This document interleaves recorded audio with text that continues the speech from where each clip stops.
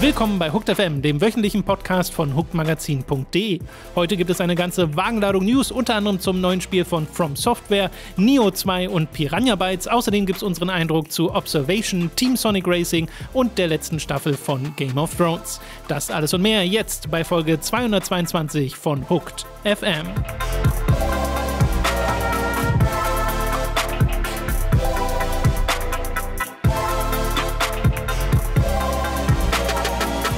Wir begrüßen euch bei einer weiteren Folge Hooked FM. Ich bin Tom, bei mir sitzt der Robin. Hallo. Und man merkt an unseren News, die wir heute haben, das ist nämlich eine gesamte A4-Seite voll, dass die E3 bevorsteht. Und zwar relativ kurz bevor. So kurz, dass, es, dass das hier die vorletzte Podcast-Folge ist vor der E3.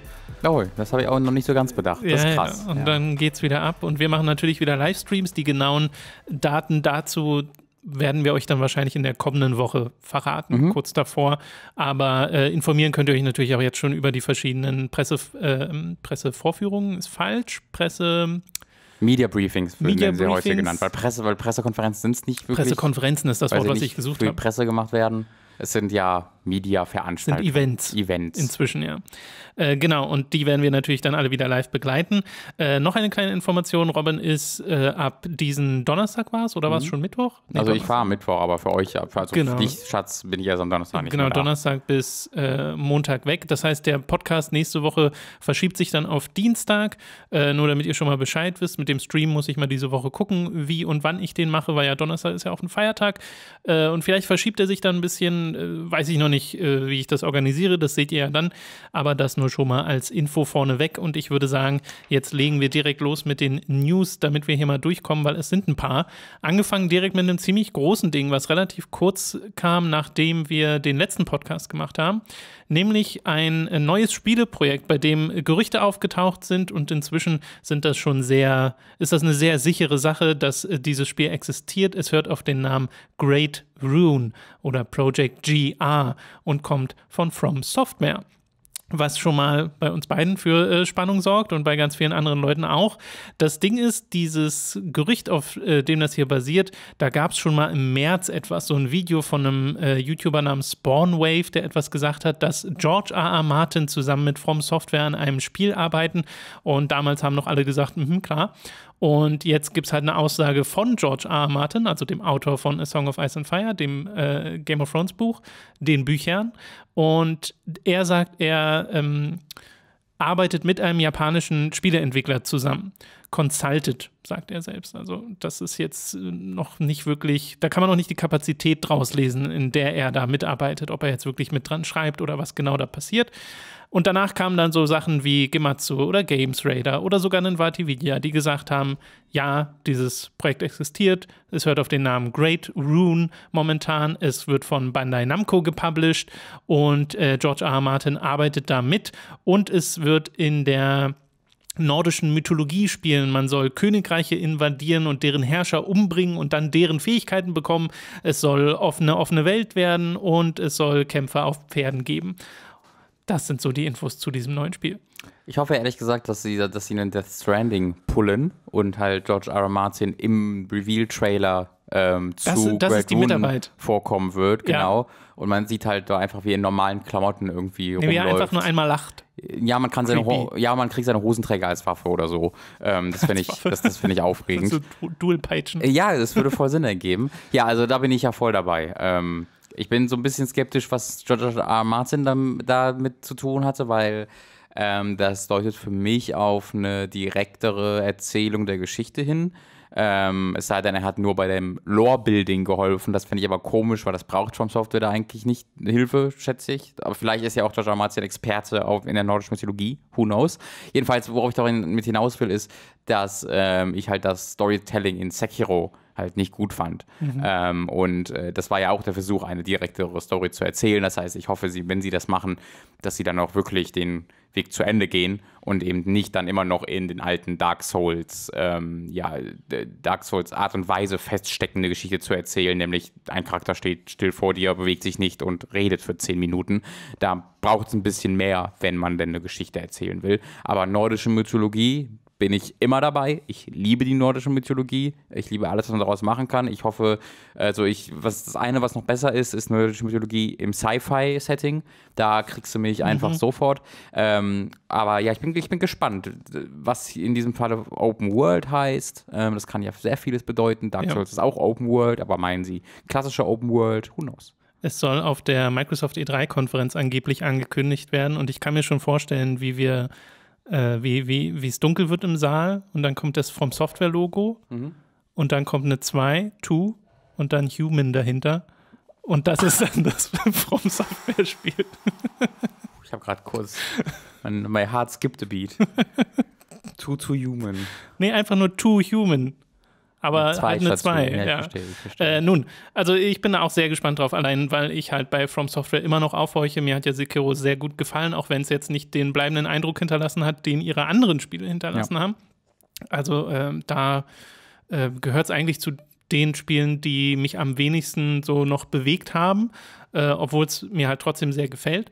Aber hier so offene Welt und Reiten auf Pferden, das klingt halt wirklich mal nach anderen Spielmechaniken. Auch wenn in einem anderen, also in einer dieser Newsseiten, die haben auch berichtet, dass es wieder From Software-artiger Kampf werden soll, äh, womit ich jetzt auch rechnen würde. Das kann man ja auch auf, auf, so, eine, auf so ein nordisches Mythologie-Setting sehr gut übertragen, das Ganze.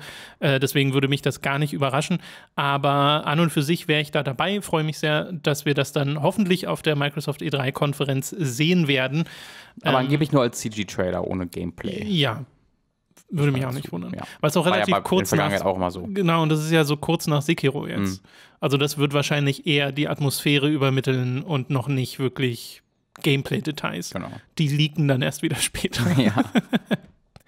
Aber bei dieser Art von Spiel können wir gleich bleiben, denn es gab in der letzten Woche eine Alpha zu Nio 2 und auch einen Gameplay-Trailer und man hat ja ganz viele Leute spielen sehen, äh, die Alpha. Wir beide haben es nicht gezockt.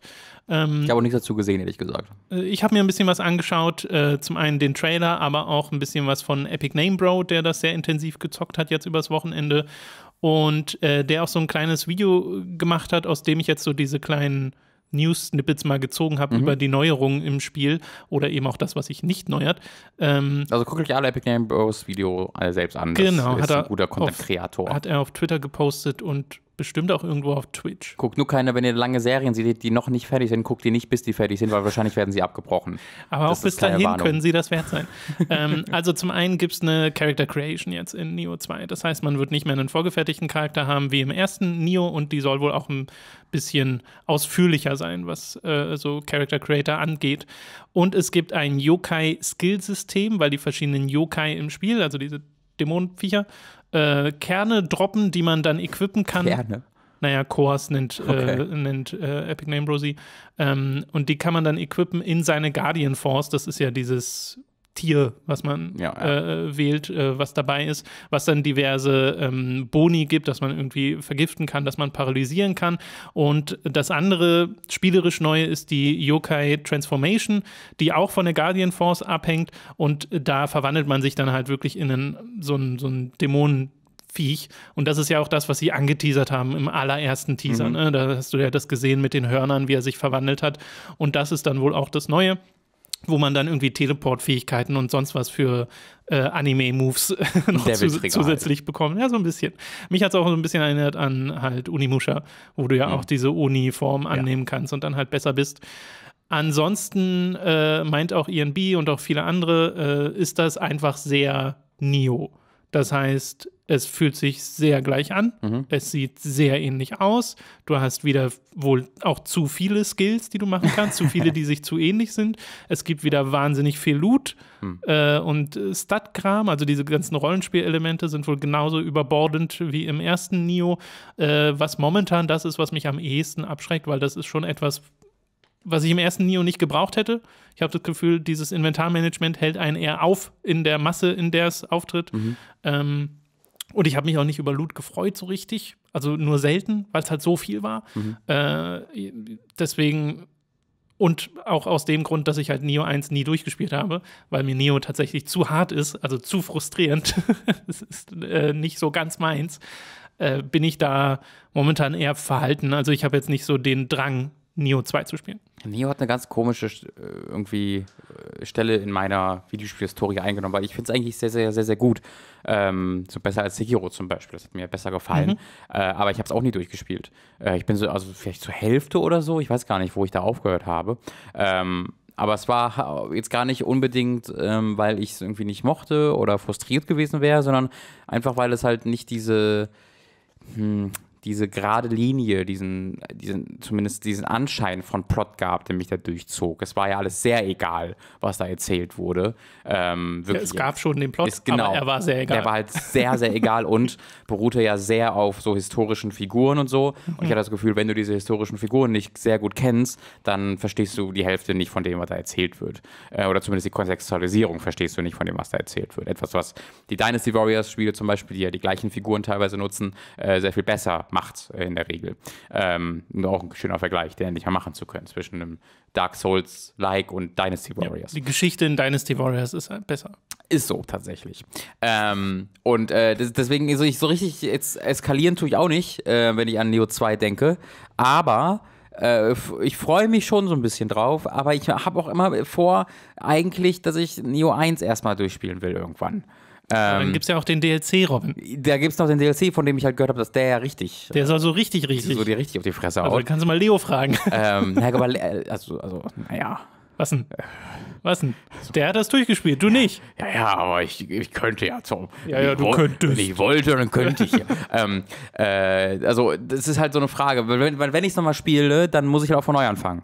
Weil ich habe schon mal versucht, ja, ja. reinzugehen und ich habe halt 3000 Waffen. Wobei, ja, da äh, hat man schon mal Diskussionen. Genau, ich, ich habe es auch mal probiert und kam relativ schnell wieder rein. Dadurch, dass das auch in so Leveln aufgeteilt ist und du nicht groß den Weg finden musst, sondern einfach ein neues Level komplett anfängst, äh, ging das, weil ich bin dann einmal in so ein ganz altes Level rein, wo alles noch ein bisschen einfacher war. Ja. Und dann bin ich wieder in die Steuerung reingekommen und das ginge schon. Aber ich habe halt einfach gemerkt, dass mir Nio einfach eine Spur zu heftig ist. Ja, verstehe. Bei mir war es halt vor allen Dingen einfach mit dem, das, wenn beim Neu-Reinkommen, es gab halt diese ganzen Skills und Waffen und das ja. da habe ich dann keine Ahnung gehabt, worauf ich gerade geskillt habe und woran ich gut war. Ich glaube, bei dem Spiel kann ähm, man auch mit gutem Gewissen einen Guide benutzen. Äh, ich glaube, ich glaube auch, ja. Ähm, aber grundsätzlich, äh, also das ist halt so ein bisschen etwas, was es unterscheidet, äh, der Loot und die Skill-Aspekt, die Rollenspielaspekte von einem Dark Souls, weil es dann noch mehr reingrätscht als ein klassisches ja. Dark Souls. Ähm, aber man kann auch sehr gut dafür argumentieren, dass es zu viel ist. Ich glaube, mir hat da sehr geholfen, dass ich die Beta gespielt hatte, wo das Loot ja noch viermal so extrem war. Die haben das ja richtig krass zurückgefahren. In der Beta hast du einfach Tausende gefunden und jede Waffe ging ja nach vier Schlägen kaputt. Äh, du musst sie ja ständig reparieren und, oder austauschen, was sie dann ja rausgenommen haben aus dem Spiel, größtenteils, nicht komplett. Ähm, deswegen war dann das fertige Spiel, wirkte da sehr äh, freundlich auf mich, ähm, aber auch nur mit sich selbst verglichen. Ich hätte halt gedacht, dass jetzt die Reaktion gewesen wäre, zu sagen, okay, jetzt gehen wir dann noch weiter weg von, weil das eben eine der Kritiken ja. war, die an Neo 1 äh, die, die dem Spiel gegenübergebracht wurde. Und die andere Kritik an Neo 1, zumindest wenn ich es richtig im Kopf habe, ist halt, dass jetzt die Gebiete nicht immer die schönsten waren. Hm. So, und ähm, die Gegnervielfalt auch wohl äh, ein Problem sein könnte. Aber das ist nur von Hören sagen, weil ich habe es ja selbst nie so weit gespielt. Ähm, ich glaube, dass da ist der Gedanke halt, dass es ein Hit war für Team Ninja und Kai ja. Keo. Kai, wie heißen sie? Koi. Koi, nicht Keo. Koi. Äh, Team Ninja K und äh, Koi. Ähm, und da dann gesagt wird, okay, das ist ein Hit. Ähm, bitte nichts jetzt groß dran ändern, sondern wir machen Kann ich auch irgendwo verstehen. Ich auch, ja. Äh, das Ding ist, Neo 1 ist schon so viel Spiel äh, mit den DLCs. Ich glaube, Leo hatte auch irgendwie bei 60, 70 Stunden ja. oder sowas gebraucht. Also richtig, richtig lange.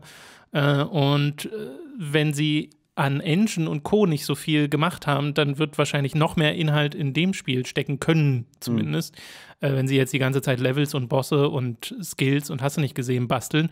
Aber so Sachen wie eine Character Customization gefällt mir schon mal, dass ich mehr meinen eigenen Charakter habe, weil dieser William oder wie er hieß aus dem ersten Teil, das war ja auch so ja, der sieht halt ein bisschen aus wie Geralt und das war halt. Schuhe, allerdings war mir die, hat mir die in den Bloodborne Dark Souls Spielen auch nie irgendwas gegeben. Mir schon. Ähm, Funhooked? Es war also, ja, ja. Sie hat mir Funhooked Es war halt bei mir weniger die, Custom, die Character Customation, aber ich habe halt dann vermisst in Sekiro, dass ich nicht die Klamotten wechseln konnte. So. Oh also ja. Das, das ist es für mich. Ja, ja, ja. Wenn das ist. fehlen würde, das wäre noch schlimmer. Genau, die Klamotten, äh, die, die, die, das Gesicht sehe ich eh nie. Ja, so wie du einen Helm hast, ist eigentlich, genau. ja, ja, äh, sehe ich. Okay, wir machen mal weiter mit einer sehr ungewöhnlichen Ankündigung von Panic, das ist der Publisher von unter anderem Firewatch oder auch mhm. dem kommenden Untitled Goose Game. Mhm. Und die haben jetzt eine, eine Handheld-Konsole angekündigt, nämlich die sogenannte oder das sogenannte oder der sogenannte Playdate. Mhm. Äh, sieht ein bisschen aus wie ein kleiner gelber Gameboy hat ein Steuerkreuz und äh, zwei Face-Buttons und auch das Layout von einem klassischen Gameboy, nur halt ein bisschen kleiner. Und hat eine Kurbel an der Seite. Also wirklich so ein Ding, was du drehen kannst, was aussieht, als ob man äh, das äh, irgendwie den, den Strom aufladen kann damit, obwohl sie selbst schon sagen, nein, das, äh, so funktioniert das nicht. Äh, das ist einfach nur ein weiteres Spielelement. Und das Konzept ist, dass man sich dieses Ding kauft und da ist dann eine Staffel an Spielen drauf. Sie nennt es selbst Season. Mhm. Und diese Staffel an Spielen, du weißt vorher nicht, welche Spiele es sind und sie werden nach und nach freigeschaltet. Und der Sinn soll so sein, dass du halt an dem jeweiligen Tag, an dem das freigeschaltet wirst, halt aufwachst zu einem Spiel, das eine Überraschung für dich sein soll. Ja. Äh, und das sind so kleine Indie-Spiele, weil das ist auch nur ein Schwarz-Weiß-Bildschirm, der kann jetzt nicht so wahnsinnig viel dieser Spiele handelt, auf einer technischen Ebene meine ich. Also da sollte man jetzt keine 3D-Grafik oder sonst irgendwas erwarten. Aber äh, dieses Konzept ist so schön eigen und weird. Mhm. Äh, ich habe das sehr genossen, diese Präsentation von denen zu lesen. Das soll 2020 rausgehen, äh, die, diese Konsole, und soll 149 Dollar kosten zu Release. Das ist, ist, ist halt keine Konkurrenz mit anderen Handhelds oder Konsolen, sondern das will es halt, auch gar nicht sein. Genau, es ist halt so ein lustiges Kunstprojekt fast schon, wo einfach Entwickler sich zusammengesetzt haben und Publisher und worauf hätten wir gerade Bock? Das wäre doch cool. Ja, so haben sie es ähm, auch aufgezogen, weil sie genau. haben ja genau. gesagt, sie sind jetzt Publisher und machen das schon eine Weile und haben Software entwickelt und jetzt hatten wir halt mal Lust auf Hardwareentwicklung und hatten halt keine Ahnung davon und deswegen hat es eine Weile gedauert, weil ja. die arbeiten da wohl schon seit vier Jahren dran. Äh, aber wie allein die Tatsache, dass du so eine Kurbel an dein, mhm. deine Handheld-Konsole machst, da äh, habe ich manche Leute schon gesehen, wie sie sehr aufgeregt wurden.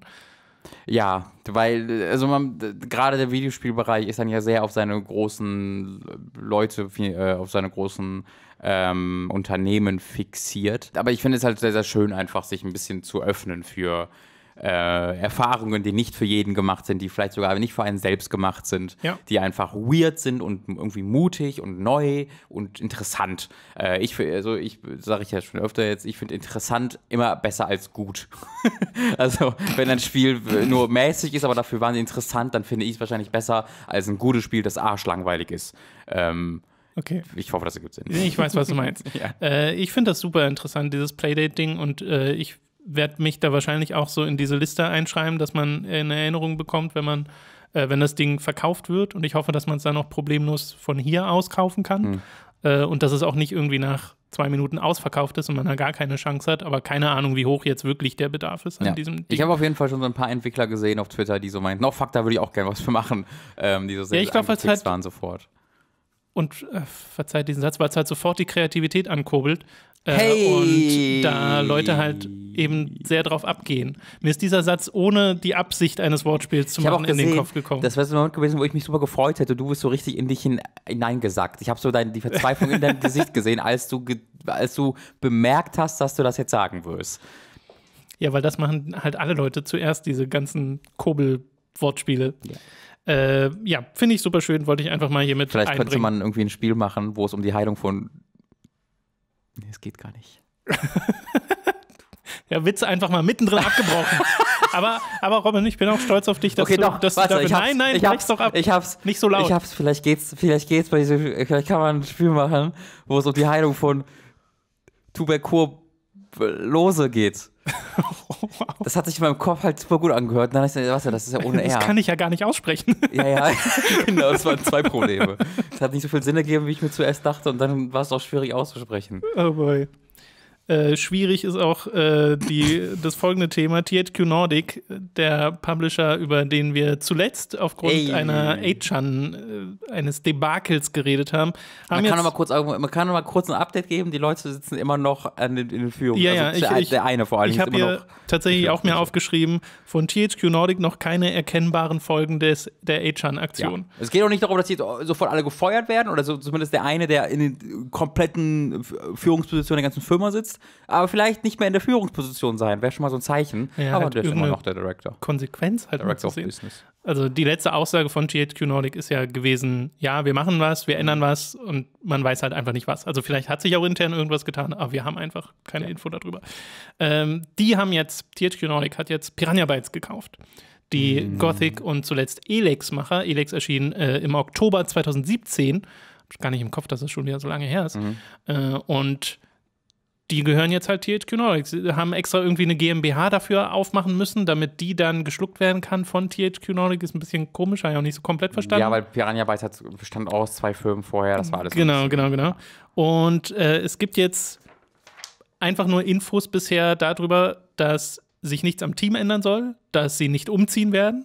Äh, ich glaube, es ist sehr lustig gewesen, das in einem Eng einer englischen Pressemitteilung zu lesen, Ah, ich aber die Sachen gibt es auch auf ich- Deutsch. ich die es war gelesen. irgendwie äh, What stays in the Ruhr, äh, What is in Ruhrpott stays in the Ruhrpott Mhm. äh, oder in the Ruhrgebiet. Äh, auf jeden Fall war es lustig, das in einem englischen äh, äh, Kontext zu lesen. Und die Frage kam auch auf, was ist mit Elex 2? Und die Antwort darauf in diesem, dieser Pressemitteilung ist einfach nur ratet mal. Genau. Also, dass wahrscheinlich ein Elex 2 kommen wird, äh, während sie auf Gothic und Risen keinen Kommentar geben bisher. Ja, das, das hat mich verwirrt, weil ähm, die haben im Zuge dessen halt auch die Rechte, also natürlich an Gothic verloren. Äh, Piranha Bytes selbst, an Nordic, weil das war das große Ding, dass Piranha Bytes jetzt selbst ähm, die äh, Rechte an Gothic übernommen hat, nachdem Joe Wood äh, sich verabschiedet hat. Ähm, und das fand ich halt sehr, sehr vielversprechend, weil ich mir dachte, oh, da könnte man irgendwann. Hm, hm. Aber sie haben sich jetzt aber auf Elix tatsächlich dann wohl versteift. Ähm, also, versteift klingt sehr negativ. Ähm, sie hatten mit Elix einen Erfolg gefeiert und wollen den halt natürlich weiter nutzen. Das finde ich auch gut. Ich fand ja Elix super gut. Ähm, es ist halt für mich sehr schade, so ein Entwickler, dem ich so lange schon folge, ist einer meiner größten ja, Kindheits, äh, so Fandoms, die Gothic-Reihe, wie ja viele von euch wissen werden, ähm, zu sehen, dass er halt an so eine, also dass diese, diese wirklich jetzt über Jahrzehnte aufrechterhaltene Selbstständigkeit ähm, aufgegeben wird und dann halt auch bei so einer Firma landet, die ich sehr kritisch sehe. Ähm, das finde ich, äh, finde ich sehr schade. Aber siehst du sie auch ähm, kritisch außerhalb von Achan? Von der Achan-Nummer? Nö, ich sehe sie aus diesem Aspekt kritisch, ja. Also schon wegen dem Ding. Genau, Okay. genau. Ähm, ja, also ich habe, ich, wie immer, äh, ich würde niemals auf die Idee kommen, irgendwie zu sagen, warum machen die das, how dare they oder sonst irgendwas. Das geht auch um, ihre, um, ihre, um ihr Leben, um ihr Lebensunterhalt, sie müssen damit Geld verdienen äh, und das ist halt eine sofortige Sicherheit, die erstmal entsteht. Ähm, muss man dann gucken, ob die auch immer dann bestehen bleibt. Gerade kauft THQ Nordic alles auf, was nicht mehr drauf auf den Bäumen ist äh, und scheint das auch gut durchfinanzieren zu können. Ähm, ob das auf ewig so bleibt, müssen wir, müssen wir mal dann sehen, wenn vielleicht ein paar Spiele noch nicht mehr so gut funktionieren, wie sie sich das vorgestellt haben. Äh, aber ich hoffe jetzt erstmal darauf, dass das dazu führt, dass wir die nächsten, die, nächsten, ja, das nächste Jahrzehnt, gucken wir erstmal, äh, einen steady Workflow haben für, für Piranha Bytes und wieder immer neue Spiele bekommen. Äh, und dann bin ich erstmal zufrieden. Und ja, dass sie jetzt halt eine THQ Nordic-Firma sind, macht mich so ein bisschen traurig, aber naja. Ich frage mich, ob sich dadurch irgendwas tatsächlich an der Spieleentwicklung ändert, weil sie sagen, sie wollen erstmal nichts am Team tun, sie wollen erstmal am gleichen Ort bleiben. Also, dass der Workflow vielleicht auch der gleiche bleibt, aber ich denke mal, sie, und das wird ja der Grund sein, weshalb sie es machen, haben ein größeres Budget zur Verfügung. Äh, oder zumindest keine so großen finanziellen Sorgen mehr, aufgrund der Tatsache, dass sie dann einem Publisher gehören. Und ob das irgendeine Auswirkung darauf hat, weil eigentlich bringt es jetzt per se nicht zwingend was, wenn du sagst, okay, schmeiß einfach mehr Geld ran, weil es sind trotzdem noch die gleichen Leute, die die gleiche Arbeitszeit haben, die können nicht plötzlich Genau. mehr und krasser ich Animationen machen oder sowas. würde ich auch gar nicht so auf ein größeres Budget, da ehrlich gesagt, äh, schielen, ähm, sondern vielleicht eher einfach eine, ah, die Sicherheit, dass du direkt, du bist bei diesem Publisher und du hast dann als das nächste Projekt wird dann auch von ihm finanziert. Du musst nicht erst wieder in Verhandlungen gehen für das nächste Projekt. Ja. Ähm, und äh, vor allen Dingen hast du vielleicht auch dann die äh, Ressourcen dieses Publishers, gar nicht, jetzt nicht in Form von Budget unmittelbar, einfach Hilfestellungen ähm, von anderen Entwicklern, von anderen Teams. Ähm, das hört man ja öfter, dass dann auch zusammengearbeitet werden kann. Ja, dass vielleicht Ähm, Assets oder sowas außerhalb produziert werden. Genau, dass man halt Ahnung. vielleicht ein bisschen Skyrim-NPCs bekommt in ADX 2 oder so, so Limbo of the Lost-like. Wäre doch schön. THQ Nordic hatten neulich, ich habe leider die genaue Statistik vergessen, aber es- gab irgendwie so eine Nummer, ja, wir haben 300 Entwickler und 150 Spiele sind in, in Entwicklung, die meisten davon noch unangekündigt. Es waren irgendwie andere Zahlen, aber es waren auf jeden 80 Fall es waren auf jeden Fall eine ziemlich hohe Zahl, wo ich so dachte, oh krass. Äh, ja, dem sind davon natürlich auch sehr viele kleine Spiele dabei. Ähm, aber ja, also es ist ja kaufen wirklich wirklich alles auf. in einem regelmäßigen Abstand kriegen wir diese News. THQ Nordic hat Studio XY gekauft. Genau. Äh, und man glaubt dann zum einen an so Remakes oder so Sachen von alten Marken. Das ist immer so der Gedanke, weil es oft so Sachen sind, irgendwie die Timesplitters-Leute oder sowas, die dann geholt werden. Äh, hier ist es jetzt wirklich einfach nur Piranha Bytes, die halt schon immer ihr Ding machen Ja. äh, und scheinbar damit hoffentlich auch weitermachen können. Also ich hoffe einfach für Piranha Bytes, dass sie das in keinster Weise irgendwie auf eine kreative Art und Weise beeinflusst, dass sie sich jetzt gefühlt äh, irgendwas beugen müssen, was sie nicht machen möchten. Glaube ich. Ja, hoffe ich auch nicht, aber glaube ich auch nicht. Ähm, ich meine, THQ Nordic war ja auch schon der Publisher für Elex. Hat ja auch funktioniert. Ja. Ja, denke ich auch. Gut. PlayStation Studios ist ein neu gegründetes, äh, eine neu gegründete Firma von Sony Interactive Entertainment, extra für den Zweck, Fernsehserien und Filme zu produzieren, basierend auf PlayStation Franchises. So, lass das erstmal, ne? Erstmal denken sich jetzt ganz viele. Äh, Das ist ja exciting. aber passt mal auf, die erste Marke, die in eine TV-Serie umgewandelt wird, ist Twisted Metal. Ja. Cool. Nächste News. God Galaxy 2.0. Äh, nee, also Ähm. das Ding ist, diese PlayStation-Seriennummer, es gab ja mal diese Superhelden-Serie, wie hießen die? Powers? Power. Power. Oder nur Power? Also Powers kann gut sein. Ja, auf jeden Fall hat die keinen interessiert. Und äh, sie sagen halt, ihre Absicht ist jetzt, die ganzen Sachen selbst intern zu machen, nichts mehr outzusourcen, Qualität soll ganz wichtig sein, bla bla bla bla bla. Also es gibt so ganz viele so Schlagworte, die in diesen ersten Interviews und Pressemitteilungen stehen. Äh, Sean Layden ist ja da irgendwie Consultant oder sowas, aber äh, der eigentliche CEO ist, und den Namen musste ich mir aufschreiben, Azad Quisilbash. Habe ich bestimmt falsch ausgesprochen. How dare you. ähm, der äh, sich jetzt darum kümmert. Sie sagen, sie machen das so ein bisschen mit Blick auf Marvel, also wollen daraus ein bisschen lernen. Was alles Mögliche heißen könnte und das Twisted Metal, aber die erste bestätigte Marke also ist, so komisch.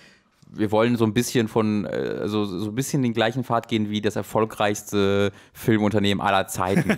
wir wollen so ein bisschen in diese Richtung gehen. So ein bisschen so wie die Naja, sein. aber es macht halt, also ich weiß, dass man da so drauf blicken kann und dann ist es halt lächerlich, aber es macht schon aus der Sicht Sinn, dass da Comics adaptiert wurden in ein Filmformat. Hier sollen jetzt Videospiele adaptiert werden in ein Filmformat und sie reden zum Beispiel auch darüber, wie man so ein 40, 50 oder sonst was Stunden Spielzeit äh, eine Erfahrung in einen Film transferiert, dass man nicht einfach die Story genau gleich nacherzählen sollte oder sowas. Also, dass sie schon wirklich adaptieren wollen und nicht einfach nur ähm, ja, nacherzählen möchten. Aber inwieweit sich das dann tatsächlich umsetzen lässt, keine Ahnung. Twisted Metal ist eine eigenartige Wahl, weil es halt keine Marke ist, die noch Lebt. im, im ja, ja, also ist ja einfach so, niemand denkt mehr an Twisted Metal, was auch daran liegt, dass der letzte Teil halt lange her war und glaube ich auch kein so großer Erfolg. Äh, war noch auf der PS3. Haben wir Giga gespielt. Äh, mhm. Sogar bei dem Random Encounter habe ich mal mit Leon ein Let's Play dazu gemacht. It's been a while. Aufregend. Äh, und das ist komisch. Also einerseits eignet sich dieses komische Horror Sweet Tooth Car Combat Ding in der Hinsicht für eine TV-Serie, als dass das schon ein bisschen in den Spielen teilweise drinsteckt. Hat das nicht ja- Live-Action zwischen Genau, das hat so teilweise ist die Live-Action-Sequenzen. Serie schon fertig. Und sie sind vor allem kultig. Also die Leute, die Twisted Metal, gerade Twisted Metal Black oder so mögen, die mögen es auch richtig. Und zwar unter anderem auch für diese absurden Charaktere, weil es so richtig böse wird. Äh, und da kann man, glaube ich, auch ein TV-Franchise draus machen. Aber die Frage ist einfach so ein bisschen, warum und glaubt ihr, dass das ein Erfolg wird, weil Twisted Metal jetzt nicht den, den, den Pull hat von irgendwie einem Uncharted oder sowas? Ja, das ist halt so diese, diese, etwas, was dediziert gemacht wird für Adaption, ähm, äh, bringt mir so ein eher so ein müdes Game zum Vorschein, weil ich mir halt denke, also entweder ihr habt so Spiele wie jetzt Twisted Metal oder sonst irgendwas, wo ich so sage, ja, die Geschichten sind okay, bla, meinetwegen, oder ihr habt was irgendwie Uncharted, Last of Us, wo, wo die Geschichtencharaktere richtig gut sind und dann sage ich, warum braucht das eine Serie? Äh, dann wird das einfach nur schlechter, wenn du das zu einer Serie machst, weil das dann total ähm, seine, sein Alleinstellungsmerkmal fällt und wie eines dieser Dinge wird, von denen es so 10.000 gibt. Oh, es ist Indiana Jones, spannend. Oh, es ist The Walking Dead, äh, The Road, spannend, gibt's schon. Ähm, deswegen äh, weiß ich da jetzt nicht, worauf ich mich da jetzt genau freuen soll. Auch, dass es halt jetzt eine separat ist von Sony Pictures. Also, ne, Sony hat ja schon ja. Eine, ein, ein Filmbusiness. Ähm, gibt mir irgendwie so ein Mikro-Budget-Feeling, so, als ob, die das, als ob das so der, der kleine Bruder wird, der so für 5 Millionen irgendwas Cooles produzieren soll. Ja, Sony ähm, Pictures soll wohl bei der Distribution helfen, aber nicht bei der Produktion. Ja, also was ja erstmal keine ganz schlechte Idee ist, weil Sony Pictures keine großartigen Track Record hat die letzten Jahre. Äh, ne, das Beste ist halt irgendwie ähm, Spider-Man ähm, ja. Homecoming, weil die damit nichts zu tun hatten. das hat nämlich komplett Marvel gemacht. Ähm, Wie waren das bei Into the Spider-Verse? Äh, Into the Spider-Verse ist halt Sony Animation, also das ist äh, okay. nochmal was anderes okay. als ähm, die, die, die, die Live-Action, so das Live-Action-Ding. Ähm, aber das war auch, das war etwas, was sehr überraschend kam, was sehr cool ist, was sehr, vielleicht was, was Cooles bedeutet für Sony in der Zukunft. Ähm, Was ist da gerade umgekippt? Das Whiteboard, das da seit zwei so. Jahren steht. Ich weiß auch nicht wie. Äh, deswegen, äh, I guess, okay. Es gab jetzt so ein paar Sony-Umsetzungen in den letzten Jahren. Es gab ja eine Ratchet Clank. Es war total bla. Und dann gab es doch auch eine Sly-Sache. Ich weiß gar nicht, ob die hier rauskam. Da ist nie was draus geworden. Die kam nie raus, ne? Ja. Ähm, I guess, sure, versucht's mal. Vielleicht. I guess. Ja, ich würde auch einfach sagen, Ergebnis abwarten. Twisted Metal ist halt so, weil ich habe wirklich einerseits diese Was zur Hölle Reaktion und andererseits finde ich das aber gerade wieder interessant, dass es nicht, dass sie nicht Uncharted nehmen, dass sie nicht The Last of Us nehmen oder sowas, was die offensichtlicheren Kandidaten wären. Aber wie du schon sagst, da würde ich auch sagen, gibt es schon. Und Twisted Metal ist so komisch. Hm. Also, das wäre wirklich noch was Eigenes, wenn man das in eine TV-Serie umwandelt. Ich hoffe auf eine, auf eine ähm, große Killzone-Serie, die endlich die, oh ja, die Extended Hellgas. Lore von Killzone auch der, dem Mainstream näher bringt. Ähm, ja, das ist halt ganz lustig, weil Microsoft hat ja was sehr Ähnliches versucht. Ne? Microsoft hat ja auch ja Microsoft Studios, ja, Pictures, wie die hießen, wurden dann nach anderthalb Jahren wieder geschlossen. Ähm, und alles, was davon übrig geblieben ist, ist ja die Halo-Serie, der ja immer noch gearbeitet wird, die mittlerweile ja auch Regisseure für jede Folge hat äh, und Darsteller. Ähm, der Master Chief wird übrigens gespielt. Hast du American Gods gesehen? Nee. Äh, Orange is the New Black hast du aber gesehen, ne? Ja. Der Pornstash aus Orange is the New Black, weißt du noch? Kennst du den noch? Ja. Der, der spielt Master Chief. Das ist kein Scherz der ist halt sehr groß und äh, stark. Und er spielt halt in, in, American Gods, spielt ja halt auch das so. Das kann ich mir gerade gar nicht vorstellen. Ja, weil wegen seiner Rolle in der Ja, ja, ich habe ja nur den Orange is the New ähm, Charakter. In, in, in American Gods spielt er so einen ähm, irischen, so ein irisches Fabelwesen, ist einfach so ein Bär quasi, äh, der einfach äh, Leute zerstört. Äh, und ist halt oh, super cool. Dir vor, der, der Helm vom Master Chief geht auch und du hast diesen Schnäuzer da drin. das finde ich, find ich großartig. ja, der Schnäuzer wird es wirklich machen. äh, aber ja, der spielt tatsächlich den Master Chief schief. Das ist das so oder News nebenbei. Interessant. Okay, äh, wir machen weiter mit GOG Galaxy 2.0. Äh, die Leute von CD Projekt, beziehungsweise GOG ist ja ein separates Ding, äh, haben angekündigt, dass sie eine, ein großes Update ihres Clients machen, das wohl von ähm, Grund auf neu entwickelt wurde. Und der Clou an diesem Ding, an GOG Galaxy 2.0, soll sein, dass dort alle Spiele sämtlicher Plattformen vereint werden. Also, dass man das connecten kann mit äh, Steam und Origin und Co. und sogar mit Konsolenplattformen um eine gemeinsame Spielesammlung in einem Launcher drin zu haben, äh, von der aus man dann auch diese verschiedenen Sachen installieren kann, zumindest auf dem PC, äh, und spielen kann. Und es wird äh, Stats geben für jedes Spiel, wo die Spielzeit getrackt werden soll, wo Achievements getrackt werden soll. Äh, du sollst eine Freundesliste haben, die auch diese Plattform äh, übergreift, dass du auch vom PC aus an deinen PlayStation-Kumpel irgendwie was schreiben kannst. Äh, sie wollen das alles über die Cloud synken lassen, dass du auf verschiedenen Plattformen die gleichen Einstellungen hast und es soll Customization geben. Äh, und zwar sogar, dass man die Metadaten der Spiele äh, selbst bestimmen kann, wo, manche, wo ich schon Kommentare gelesen habe von Leuten, oh, endlich nicht mehr das Random Caps Lock Spiel mittendrin, weil du den Namen so. dann einstellen kannst. Was ich sehr lustig finde, Stimmt. weil das kennt, glaube ich, jeder aus ja, seiner Steam-Liste. Ähm, äh, sie machen auch sehr deutlich, dass ihnen Datenschutz am Herzen liegt, dass sie kein Data Sharing betreiben wollen, äh, keine Spyware und sowas. Äh, Glaube ich, wäre jetzt auch nicht der erste Vorwurf gewesen, den man CD Projekt machen würde. Und das Ding soll Open Source sein, weil sie sagen nämlich auch, äh, da gibt es ein Interview auf GameSpot äh, von den zwei Hauptverantwortlichen, ähm, die sagen, dass sie natürlich in Verhandlungen sind mit den ganzen Plattformholdern und dass das wohl auch ganz gut läuft. Aber es gibt zum Beispiel keine Liste momentan, keine offizielle, wo GOG sagt, das sind die Sachen, mit denen ihr euch offiziell verbinden könnt. Aber sie sagen eben auch parallel, das Ding ist Open Source und wir werden Dokumentation und so bereitstellen, damit Leute eigene Modifikationen dafür machen können, um auch Sachen mit reinzubringen, die wir nicht offiziell reinbringen können, weil ihnen die Rechte oder so dazu fehlen. Ja, also ich finde es auch sehr cool als Idee, ähm, weil halt GOG, glaube ich, feststellen muss, dass sie ähm, auf des, an der Storefront ähm, nicht konkurrieren können mit Steam ja. und Epic Store. Einfach finanziell nicht. Die Epic Store kann da einfach ihre Milliarden äh, in, die, in, den Club werfen und sagen, hier nimm. Und GOG sie daneben, äh, okay. Ja, weil ähm, halt die Leute haben zwar sowas wie einen Witcher oder sowas, ja. aber sie haben kein Fortnite. Ja, aber sie haben halt vor allen Dingen nicht das Geld, das Epic durch Fortnite hat. Nee. Ne? Also diese Exklusivdinger kann sich GOG einfach nicht leisten. Ähm, oder vielleicht möchten sie sich auch einfach nicht leisten, kann ich mir auch gut vorstellen. Ich wollte gerade sagen, es klingt auch ein bisschen so, als würden sie das auch nicht wollen. Ja, ja, genau. Es würde sehr gegen ihre Philosophie gehen. Auf jeden Fall. Ähm, deswegen, ich finde, das ist eine sehr clevere Alternative, sich dann vom Store, also nicht, dass der jetzt eingestellt wird, aber so ein bisschen zu lösen trotzdem äh, und auf einen Launcher als Verkaufsargument zu konzentrieren. Ähm, das finde ich ganz clever. Äh, ich bezweifle halt irgendwie wirklich auch so ein bisschen, wie das wirklich alles praktikabel ist, weil ich halt über, also ich sehe null Grund für Origin, für Steam, für Epic Store zu sagen, ja, wir wollen da mit rein. Ähm, also ich sehe keinen Vorteil für diese Plattform.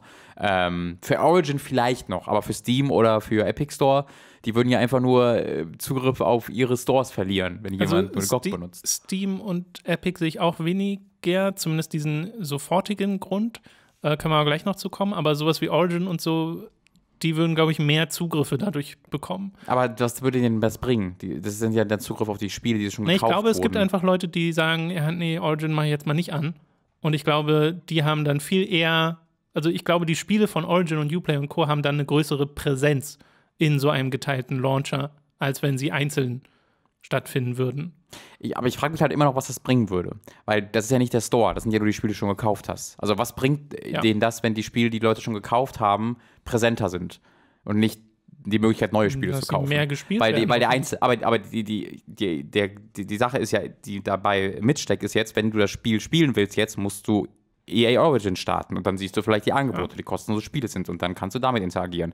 Wenn du die aus dieser Infrastruktur rausziehst, haben die nie wieder einen Grund, einfach ich im meine, Store wir, zu landen. Wir wissen ja noch nicht, wie es aussieht, ob diese Angebote nicht dann trotzdem irgendwie okay, das in ja, Galaxy stattfinden, weil das Teil dieser Partnerschaft wäre ja. oder sowas.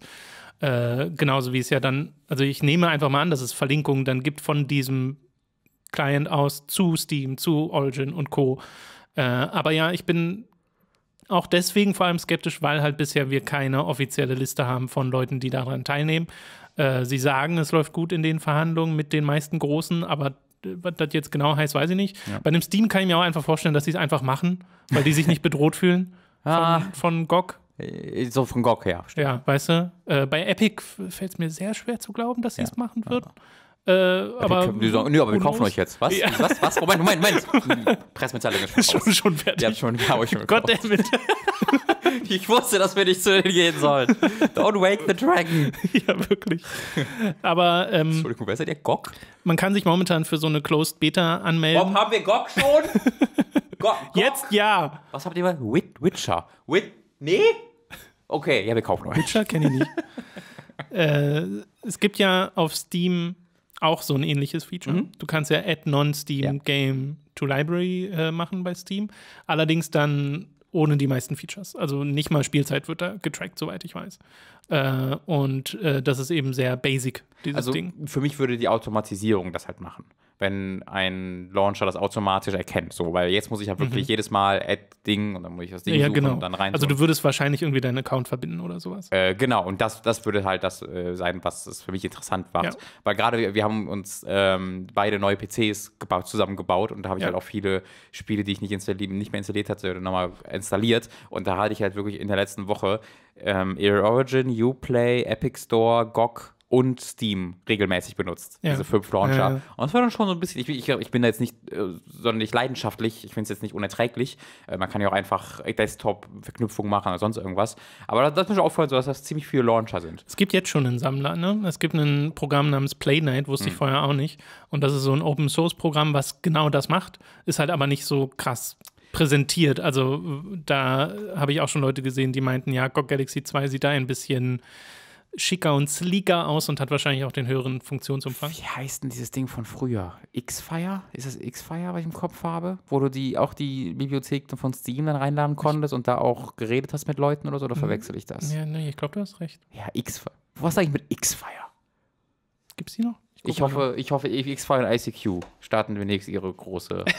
Der ICQ Media Store. ja, oh, ich kaufe mir alle meine Spiele aufs, auf jedes Mal. EU. Muss noch meine alte Nummer wieder rausfinden. Ja, also Xfire war so ein Freeware Instant Messenger War. für Spiele. Ja, Schade. war. RIP, RIP X-Fire. Wahrscheinlich schon seit 20 Jahren tot. Ja, who knows. Habe ich auf jeden Fall schon lange nicht mehr gehört. Den, den Ja. Okay. Äh, so viel zu GOG Galaxy 2.0 oder willst du dazu noch irgendwas sagen? Nee, Ich glaube nicht, ne?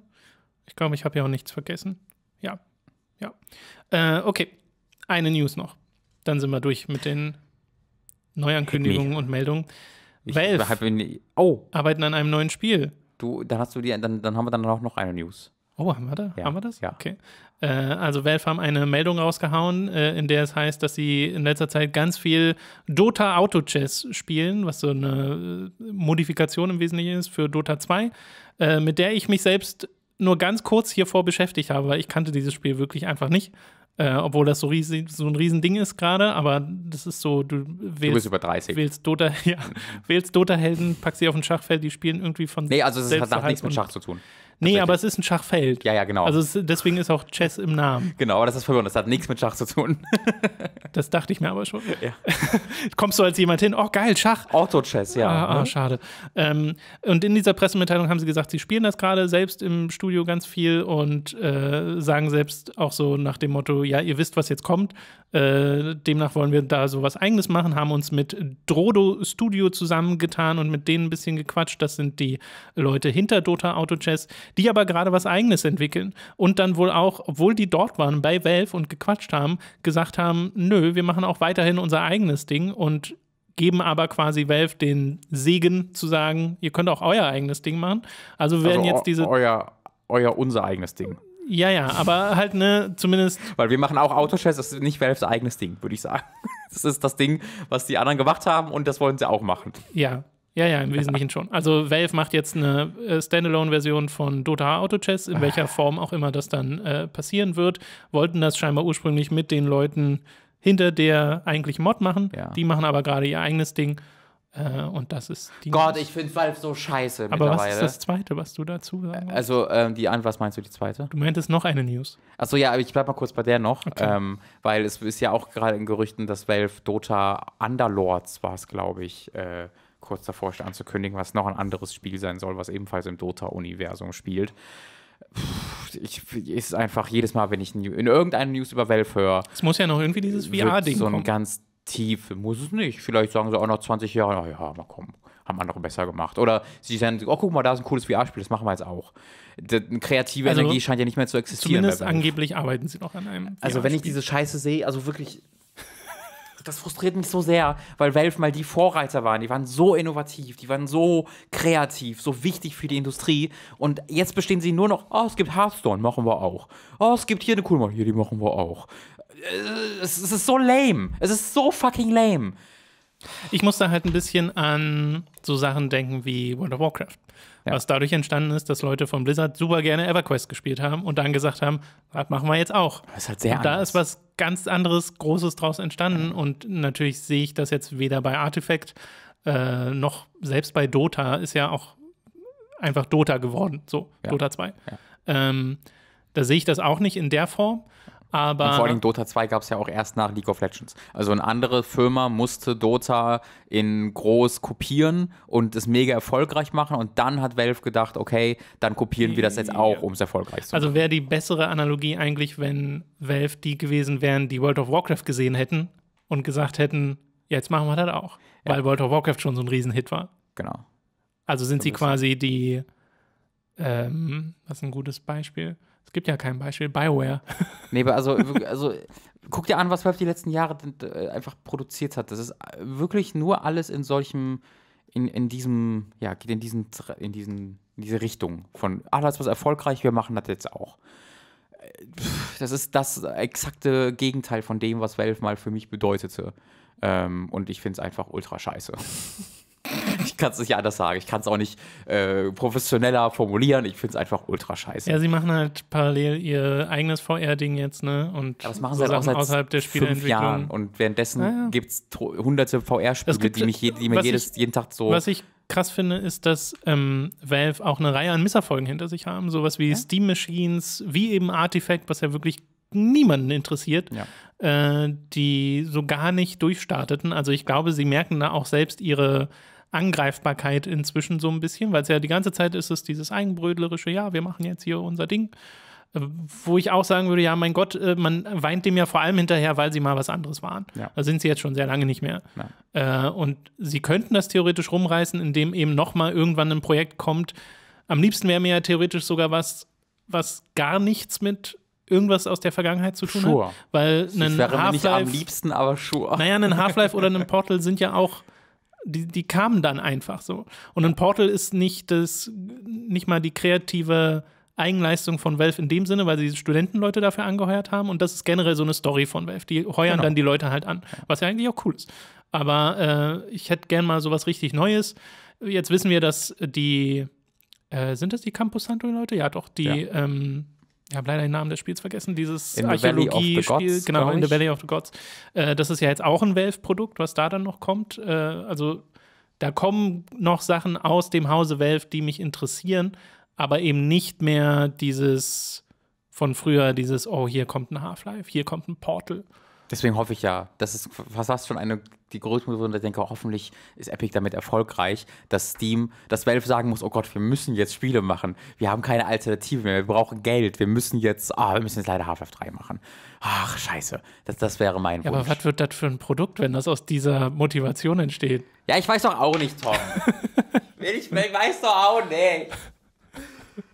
Das ist doch auch nur die Verzweiflung, die aus mir spricht. Wenn dann die Combine, die sich die Masken abziehen und sehen alle aus wie Tim Sweeney. Dota- Dota-Helden.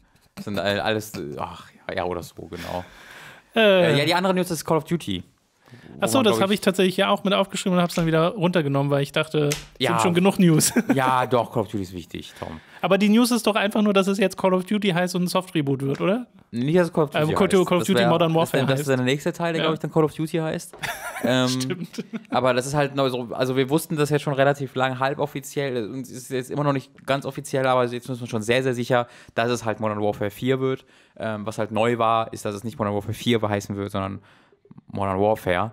Ähm, was halt Call of Duty Modern Warfare. Genau, was halt dumm ist. Äh, wo man sich aber, glaube ich, einfach damit, ja, damit, damit äh, puh, arrangieren muss, dass die Videospielindustrie einen selbst einfach persönlich provozieren will. Ähm, das Aber wenn du dieses Spiel in GOG Galaxy 2.0 reinlädst, dann kannst du es einfach Call of Duty Modern Warfare 4 das nennen. ist aufregend. Das ist ja auch so lustig, weil halt Modern Warfare ja eigentlich auch nicht Modern Call of Duty heißen sollte damals. Sollte eigentlich einfach nur Modern Warfare heißen und Activision Infinity War gezwungen, Call of Duty davor zu schreiben. Call of Duty 4 sogar. Genau, Call of Duty 4 sogar. Äh, es gibt halt Call of Duty 4 Modern Warfare, es gibt Call of Duty Modern Warfare Remastered und es gibt Call of Genau. Duty Modern Warfare. Ich glaube, Call of Duty Modern Warfare Remastered heißt auch nicht Call of Duty 4 Modern Nee, Warfare nee, Remastered. da ist die 4 nicht mehr Das drin. ist so dumm. Es ist so dumm. Und Modern Warfare ist jetzt auch nicht so alt. Man nennt das doch 4, das stört doch niemanden. Kommt dann, kommt dann nächstes Jahr Call of Duty Black Ops? I don't want. Also in Call of Duty Modern Warfare ist ja ein A drin, das hätte man ja zu einer 4 machen können. Was? Oh nein, das wäre auch schon kurz doch nicht sowas. Äh, und es gibt halt äh, so, äh, zu, zu, dem, äh, zu diesem Leak halt die Leute, äh, dass äh, Jason Schreier schrieb das, ähm, wenn ich mich recht ersinne, auf Kotaku, dass halt, dass man sich so an der No-Russian Mission or Ja, ja, äh, ja. orientiert in der Kampagne und eine Kampagne voller solcher krasser, emotionaler, schockierender Momente bietet. Und ich will halt dann sehr hart schlucken, weil das halt richtig peinlich sei, wäre, wenn es wirklich so ist. Also wenn, wenn das einfach die Intention ist. Wir wollen schocken, yeah. Und No Russian ist, finde ich aus heutiger Sicht unglaublich peinlich einfach nur. Weil das hat keine Relevanz für die Geschichte. Das hat, das ist einfach nur, wir wollen Leute schocken. Das ist nichts anderes. Ähm, und das finde ich irgendwie ziemlich lame, äh, wie es dann auch präsentiert wird. Aber ähm, nicht halt aus heutiger Sicht nicht mehr schockierend. Damals war es schockierend. Heutiger Sicht Damals war es schockierend. Ja. Ähm, Ich weiß noch nicht, ob ich sagen würde, es hat keine Relevanz für die Geschichte. Aber naja, du kannst Fall sie ja, es hat ja einen Grund, warum du sie aus, äh, warum sie einfach überspringen kannst. So kannst du ja in allen Ja. Versionen überspringen und im deutschen Version ist sie gar nicht enthalten. Ähm, doch, in der deutschen Version kannst du nur nicht schießen, sowas glaube ich. Jedenfalls auch. kannst du halt sagen, wenn, dass du sie überspringen einfach willst. Und die Story funktioniert immer noch genauso wie vorher, weil sie sagen, jetzt wurde ein Airport angegriffen. Ähm, dass du der bist, der sie alle umbringt, hat keine, es gibt, das ist halt kein Spec of the Line, weißt du, wo Nee, da irgendwas damit gemacht wird oder so, dass du gerade der was und einfach, ja, hier, tötet die halt. Ähm, jedenfalls, was ich aber sagen will, also eigentlich will ich ja direkt sagen, oh Gott, oh Gott, oh Gott, oh Gott, oh Gott, oh Gott, oh Gott, aber es ist vom Infinity Ward. Und Infinity Ward hat halt das letztens Infinite, Infinite Warfare gemacht. Äh, und das war die beste Call of Duty-Kampagne seit Modern Warfare 1 oder Black Ops 1. Das war eine richtig, richtig gute Kampagne. Vor allen Dingen wegen seinen Charakteren und seiner Erzählung. Das war richtig überraschend.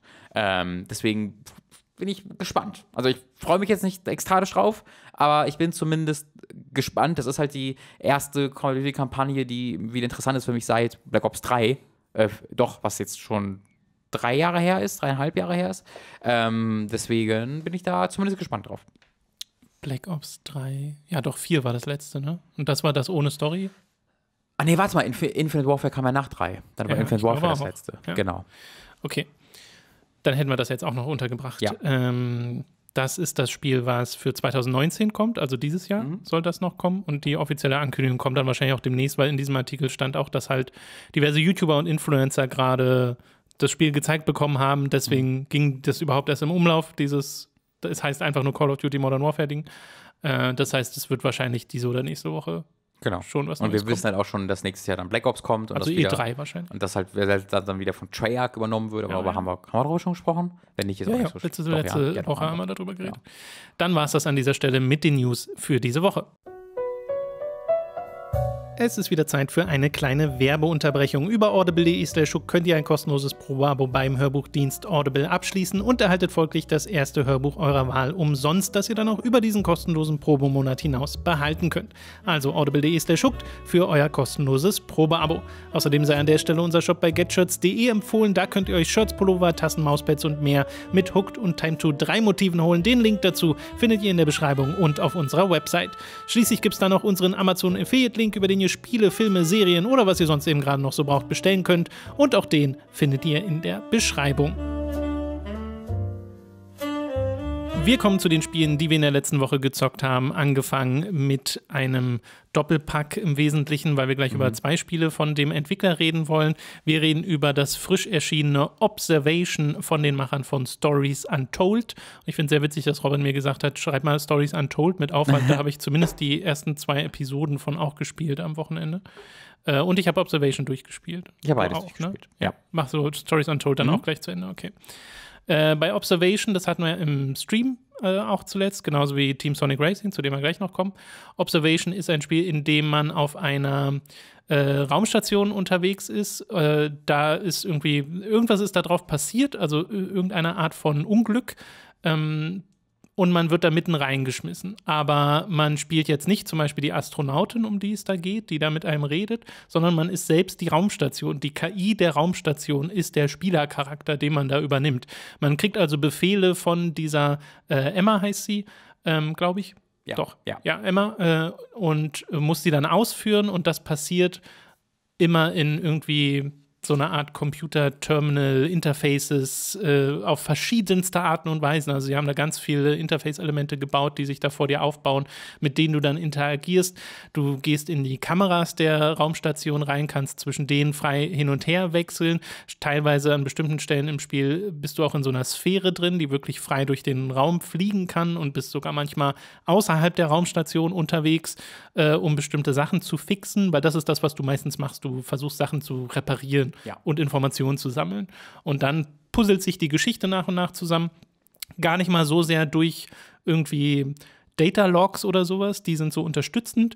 Die eigentliche Geschichte wird schon sehr direkt erzählt. Die sind unterstützend und sehr kurz. Beide Sachen, die mir positiv aufgefallen kurz, sind. ja. Diese Spiele, A, erzählen sich oft komplett über Datalogs, was das nicht macht, aber B, sind auch wirklich immer sehr, also nicht immer, aber in Meistens, 90% aller ja, ja, Fälle doch. wirklich sehr kurz, was mir auch sehr gut gefiel. Genau, und das ist so ein bisschen der Spielaufbau. Wie gesagt, erzählt sich ansonsten sehr direkt, nimmt dir auch oft in bestimmten Cutscenes die Kontrolle darüber, wohin du gerade guckst, sondern sagt, nee, die Kamera ist jetzt hier drauf fixiert und da schaust du dann wirklich zu. Ist also eine richtige Zwischensequenz. Aber baut das immer clever in das Szenario ein. Also auch wenn du mal eine Kamerabewegung haben sollst, dann du, du steuerst halt auch so einen Ball durch die Gegend, so einen KI-Ball, weiß nicht, wie ich das bezeichne, so, so ein Guilty Spark aus Halo. Ähm, und äh, dann nehmen die den halt in die Hand und bewegen den mit oder Ja, so. ich würde aber nicht sagen, es macht das immer clever.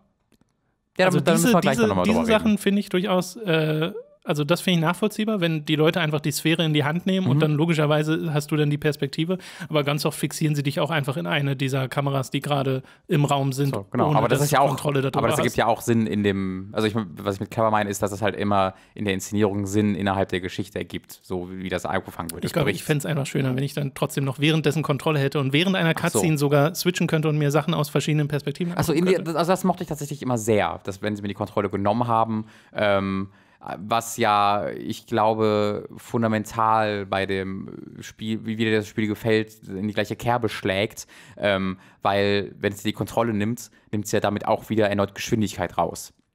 Ähm, weil du ja, dann das ja hat oft. aber damit dann an dem, der Stelle nichts zu tun. Aber äh, jetzt kämen wir sehr schnell in, und da können wir auch gleich zu kommen, in den, den äh, Kritikbereich.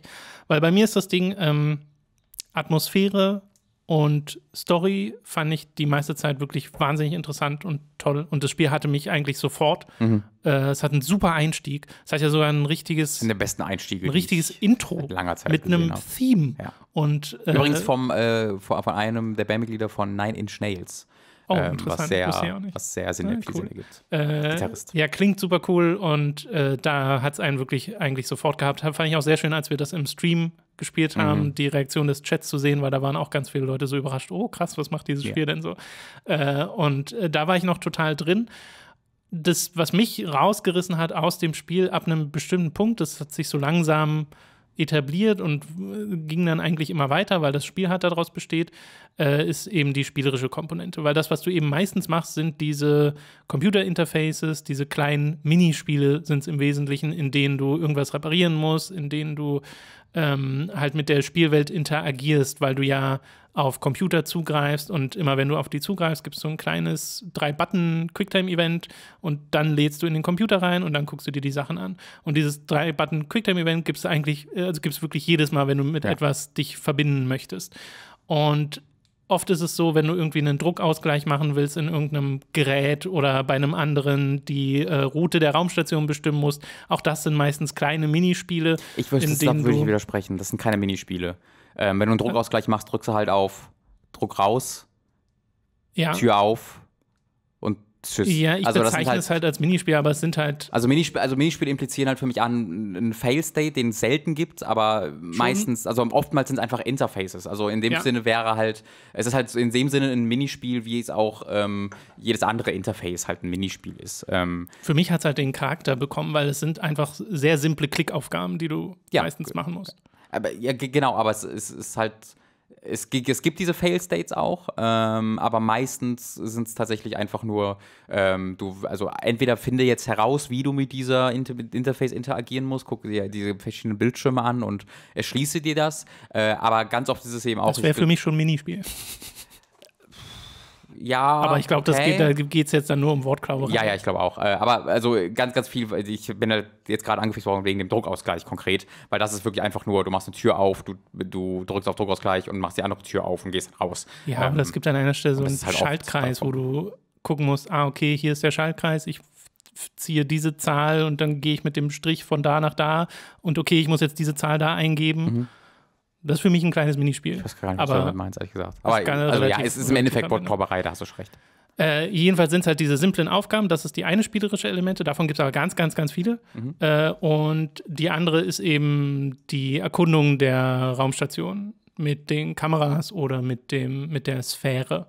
Äh, und es äh, wechselt ein bisschen zwischen mal sehr linearen Sachen, wo du wirklich eine sehr direkte Aufgabe bekommst von deinen Crewmitgliedern äh, und auch in der Mitte des Spiels mal etwas, wo du ein bisschen freier unterwegs bist, wo du verschiedene Aufgaben hast und die Reihenfolge ein bisschen selbst bestimmen kannst und auch wirklich mehr erkunden kannst, weil dir sehr viel der Raumstation offen steht.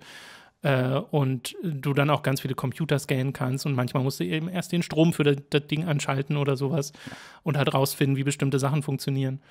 Ja.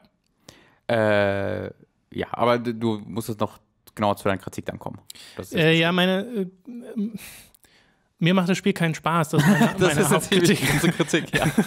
Ich finde zum einen äh, steuert es sich wahnsinnig träge alles, weil die Kameras sich so langsam bewegen, wodurch mir die Erkundung so ein bisschen äh, verjährt wurde.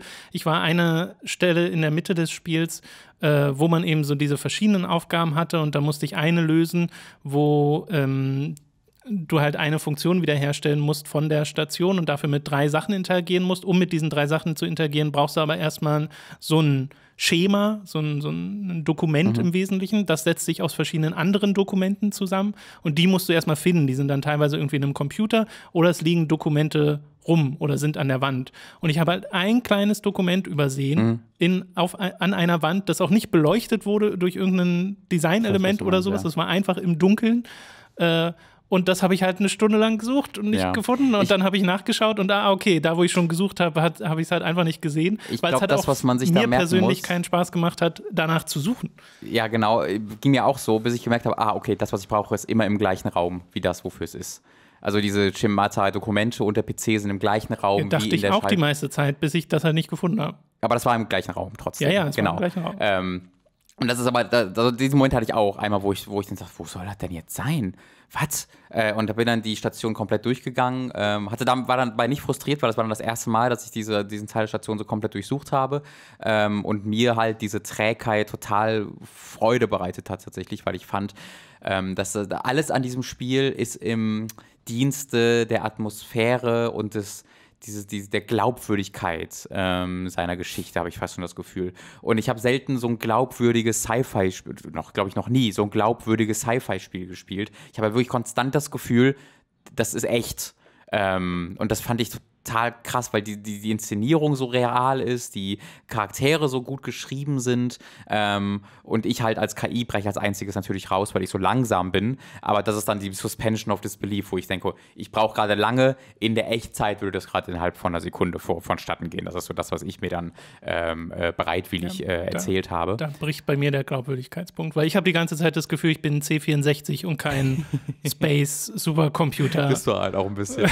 äh, so, da, da, da, hilft dann aber, finde ich, auch die Inszenierung. Wenn, es ist ja der, der ähm, Chef von No Code und auch der Chefentwickler hier, ist ja der UI-Designer von Alien Isolation mhm. gewesen, ähm, was sehr, sehr, sehr, sehr viel Sinn ergibt und erklärt, ähm, weil das natürlich auch die größte Stärke dieses, dieses Spiels ist. Nicht die größte Stärke, aber eine der größten eine Stärken. der Stärken. Ähm, ja, also ich muss sagen, ich äh, liebe dieses Spiel wirklich. Ähm, ich, äh, für mich hat sich nach diesen beiden Spielen No Code so als einer der Entwickler direkt an die Spitze katapultiert, wo ich denke, jedes Spiel von denen werde ich blind spielen, weil äh, ich fand das wirklich überragend.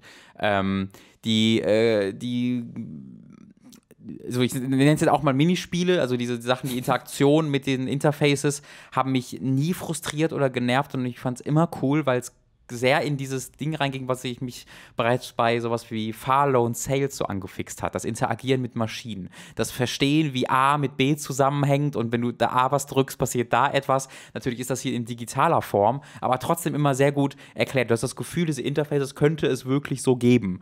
Ähm, natürlich gibt es die nicht so, weil wir alles C64-mäßig. Es hat halt diesen Alien-Style, wo es 80er Jahre Retro ist und trotzdem Zukunft.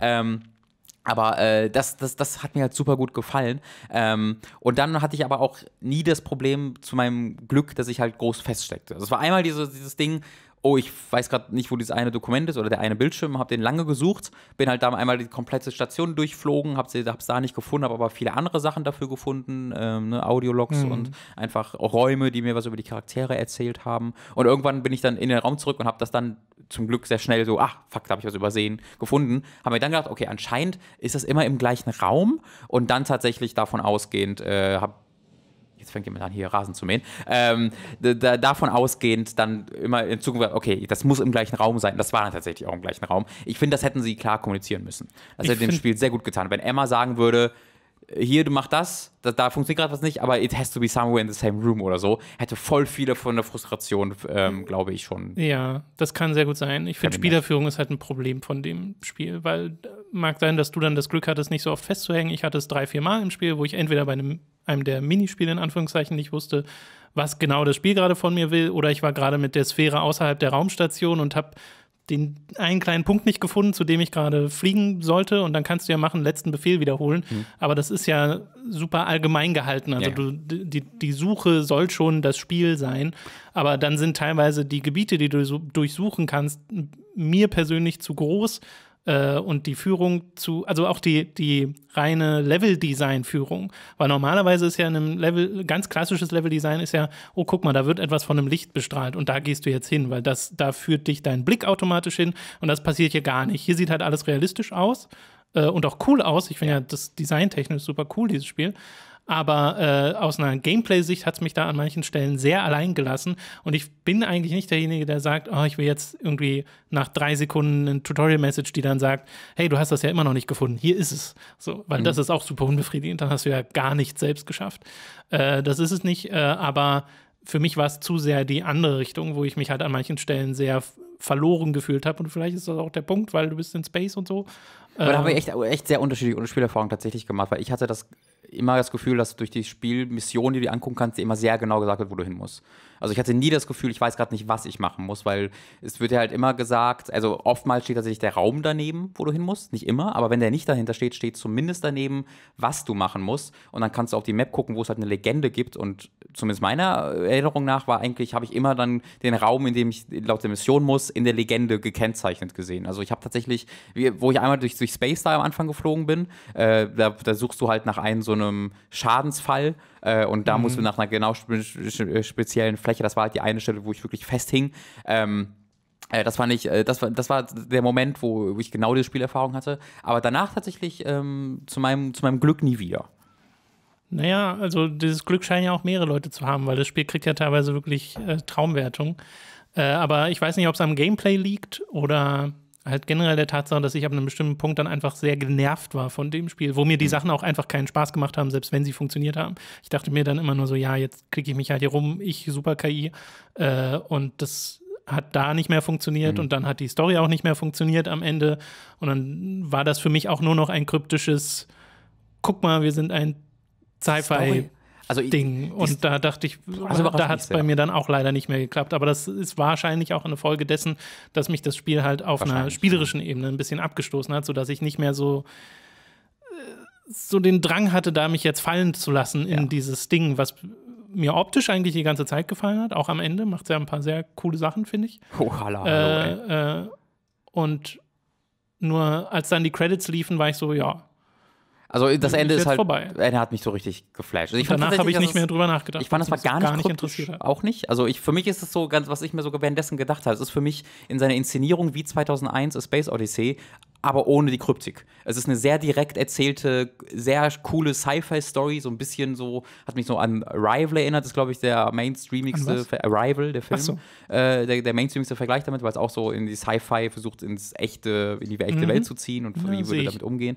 Ähm, und das, äh, das, hat, das hatte schon das Gefühl, dass sich da sehr direkt erzählt und dass ich dann halt am Ende so ziemlich auch, okay, wusste, also was auf jeden Fall direkter als 2001. Ja, das auf jeden Fall, genau, ohne, ohne Frage. ähm, und ich halt echt überrascht davon war, wie direkt es sich tatsächlich ähm, erzählt hat und wie, ja, was für ein, was für ein Ende es dann tatsächlich am Ende auch äh, produ produziert. Ähm, für mich war das wirklich ein Home Run. Also ich habe das äh, gestartet in dieser ersten halben Stunde, das damit das, wo das Intro kommt. Das war so, okay, ich bin verliebt. Und dann gab es diesen kurzen Dip, wo ich draußen in der in Space Hall mhm. feststecke, wo ich euch auch sage, guckt einfach, wenn euch das auch, wenn er rumfliegt und nicht findet, was ihr anklicken müsst, dann guckt nach. Äh, das ist Würde jetzt kein, kein Beinbruch. Ähm, und dann war ich halt wirklich komplett in der Geschichte bis zum Ende drin. Die Charaktere waren mir wichtig, die, ähm, die, die Welt habe ich geliebt. Ich fand die, die, die subtile Musik oft überragend. Ähm, und das Writing vor allen Dingen fand ich richtig toll.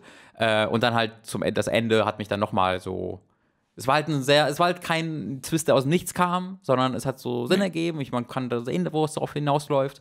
Und dann war es einfach toll inszeniert. Ähm, für mich war das wirklich äh, ein da Home muss ich auch sagen, ich finde nicht, dass es storytechnisch irgendwie Sprünge macht, die nicht nachvollziehbar sind oder sowas. Und dass es sich manchmal sehr Zeit lässt zum Inszenieren. Mhm. Dass du auch mal so eine Situation hast, wo es jetzt einfach nur, du hast so eine Einstellung ja. und da zoomt es dann eine Weile raus mhm. und das macht es dann auch eine Weile. Ja.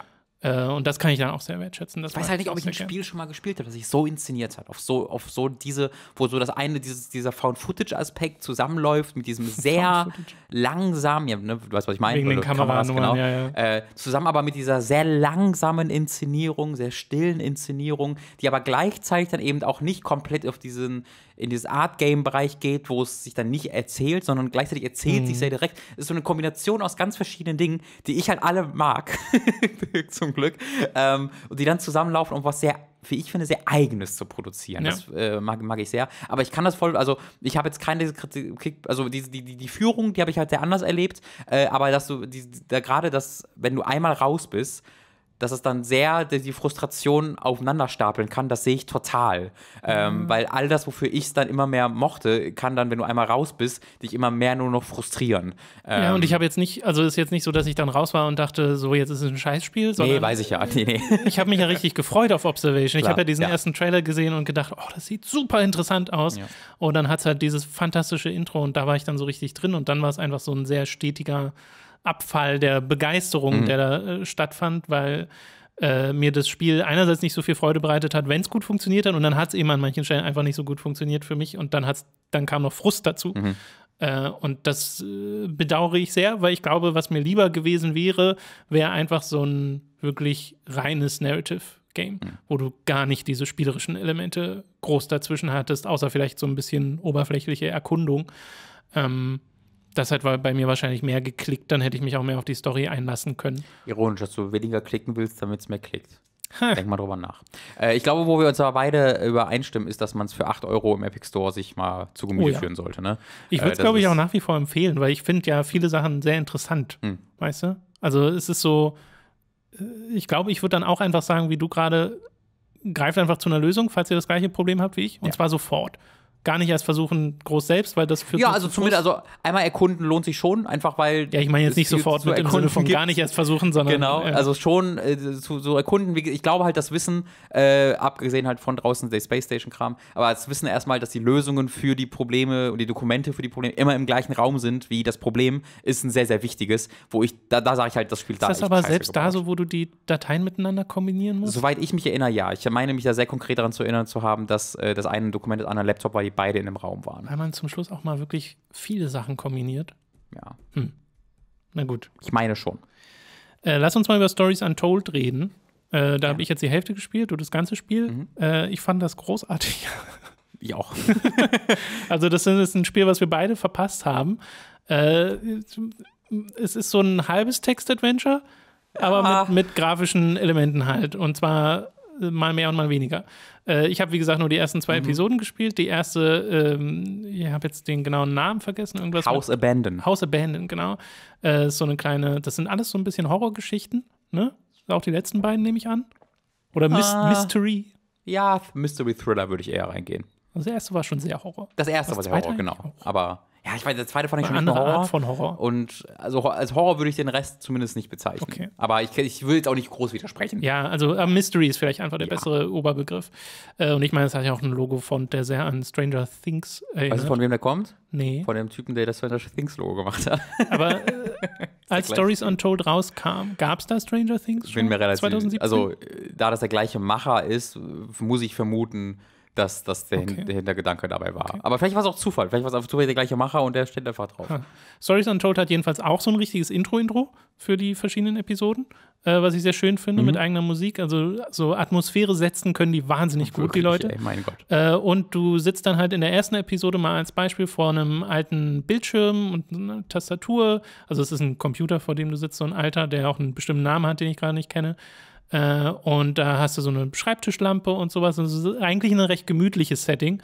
Äh, und dann startet so ein Text-Adventure, in dem halt beschrieben wird, dass du ähm, zu deinem alten Familienhaus fährst und dein Vater hat eine Notiz hinterlassen, dass ein Geschenk für dich wartet und das ist eben dieser Computer mit dem Spiel. Weil du kommst in den Raum rein, in dem du gerade sitzt, um an den Computer zu gehen, an dem du gerade sitzt, um dieses Spiel zu spielen. Genau. Und das wirfst du dann ein und dann schlägt es um und dir wird das gleiche Szenario im Text-Adventure nochmal beschrieben, nur jetzt ist alles ein bisschen gruseliger und dunkler. Äh, und da macht es dann ein paar Sachen, wo ich jetzt nicht zu sehr ins Detail gehen will, weil das sehr von seinen Überraschungen lebt, wo du Text-Adventure verbunden hast mit eben den grafischen Elementen auf eine Art und Weise, die ich super cool fand. Ähm, Gerade bei diesem ersten, wo ich noch gar nicht wusste, was auf mich zukommt, äh, wo es mich dann so richtig überrascht und teilweise auch erschreckt hat. Äh, und auf eine gute Art, also es hat mir die ganze Zeit gefallen. Und dann hat es auch ein sehr schönes Ende für diese Episode und ist eben sehr kompakt. Ne? Also das dauert ja nicht lang. 20 Minuten. vielleicht. Genau. Ja. Äh, und die zweite dann eigentlich auch nicht Ja. viel länger. Nur ist da das Szenario eben ein anderes. Du hast zwar auch wieder einen Computer mit Tastatur und Aber es ist kein Text-Adventure.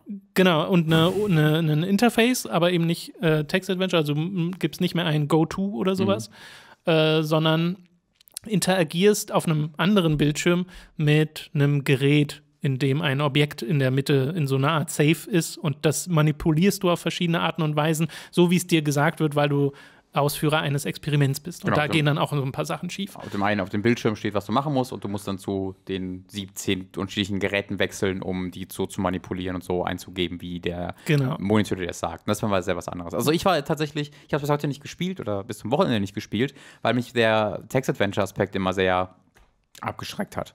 Ich habe einfach kein Interesse an Text-Adventures, ganz simpel. Ähm, und das ist halt, also, das ist wieder so ein Ding, wo, das, wo habe ich mir das auch gedacht? Ich habe jetzt den Vergleich leider gerade nicht mehr im Kopf. Aber wenn halt ähm, Reviewer oder in, Leute Berichterstattung über Videospiele so Angst vor Spoilern haben, dass sie äh, sich nicht trauen, das Spiel zu beschreiben. Weil ich habe das Spiel so oft als so ein Text-Adventure, aber matt auch noch ein bisschen mehr beschrieben bekommen, äh, dass ich mir halt immer dachte, dass das Text-Adventure trotzdem noch im Mittelpunkt steht. Aber das ist nicht der Fall. Ähm, und das ist auch äh, in den restlichen beiden Episoden nicht der Fall. Und das macht wirklich noch diverse Dinge, ohne dass ich ja irgendwas jetzt mehr zu sagen werde in den restlichen beiden Episoden. Ähm, wo da dieser Text-Adventure-Ding ist halt eines von mehreren Mechaniken, die in diesen Episoden genutzt wird, um seine Geschichten zu erzählen.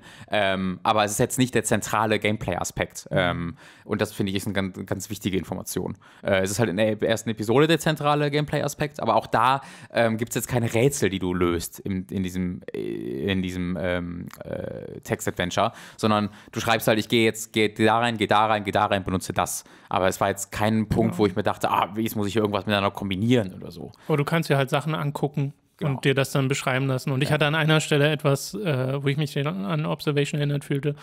Ähm, weil ich habe einmal, gab so äh, Wreckage im Englischen, was im Weg lag und dann habe ich geschrieben Clear Hm. Ah, ja, Wreckage ich, ja. und es ging nicht. Und dann habe ich geschrieben Clean Wreckage und es ging nicht. Ja. Äh, und dann dachte ich, ja, hä, was soll ich denn hier machen? Deswegen sind Text-Adventures doof. und dann habe ich mir noch ein paar andere Sachen äh, ähm, dort angeguckt und steckte da dann eben wieder eine Weile fest, Ja.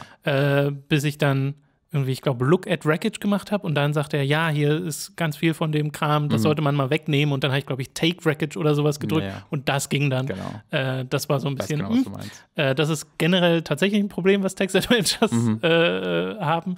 Aber ich mag diese Kombination aus Text-Adventure gerade mit den anderen Elementen wahnsinnig gerne. Ja. Ich würde euch auch empfehlen, ähm, das in einem Rutsch zu spielen. Äh, das, das, das, das, das, ergibt Sinn, wenn man wenn es spielt, eine Atmosphäre, der aufgebaut wird. Äh, es ist wirklich eine sehr, erneut, eine sehr einzigartige Spielerfahrung, dass du so vier einzelne Dinge hast, die aber alle so in, in, in eine ähnliche Kerbe schlagen, von der Atmosphäre her. Und das ist so, ein- so, so, so ein gutes, aber auch wieder recht ähm, zurückgefahrenes Writing dabei hast. Ähm, deswegen ist, glaube ich, No Code für mich da so äh, direkt so interessant geworden, weil sie so zwei extrem einzigartige Spiele gebaut haben, die Dinge mit dem Medium machen, die ich so in der Form noch nicht so oft gesehen habe. Äh, und gleichzeitig ist es aber auch so hochwertig produziert. Also es sind dann kleine, Das stimmt. relativ äh, mit, mit, mit relativ wenig Geld produzierte Videospiele, aber die machen das, was sie machen wollen, so konsequent und so gut, dass sie äh, wie teurere Spiele aussehen. Ja, weil sie halt auch einen Stil wählen, der schon realistische Oberflächen und sowas mit einbezieht. Also alles sieht real aus. Mhm. Äh, bei Stories Untold wird ja jetzt, zumindest in dem, was ich gesehen habe, jetzt nicht so wahnsinnig viel animiert und so. Nee, das ja. sind sehr re relativ statische Bildschirme.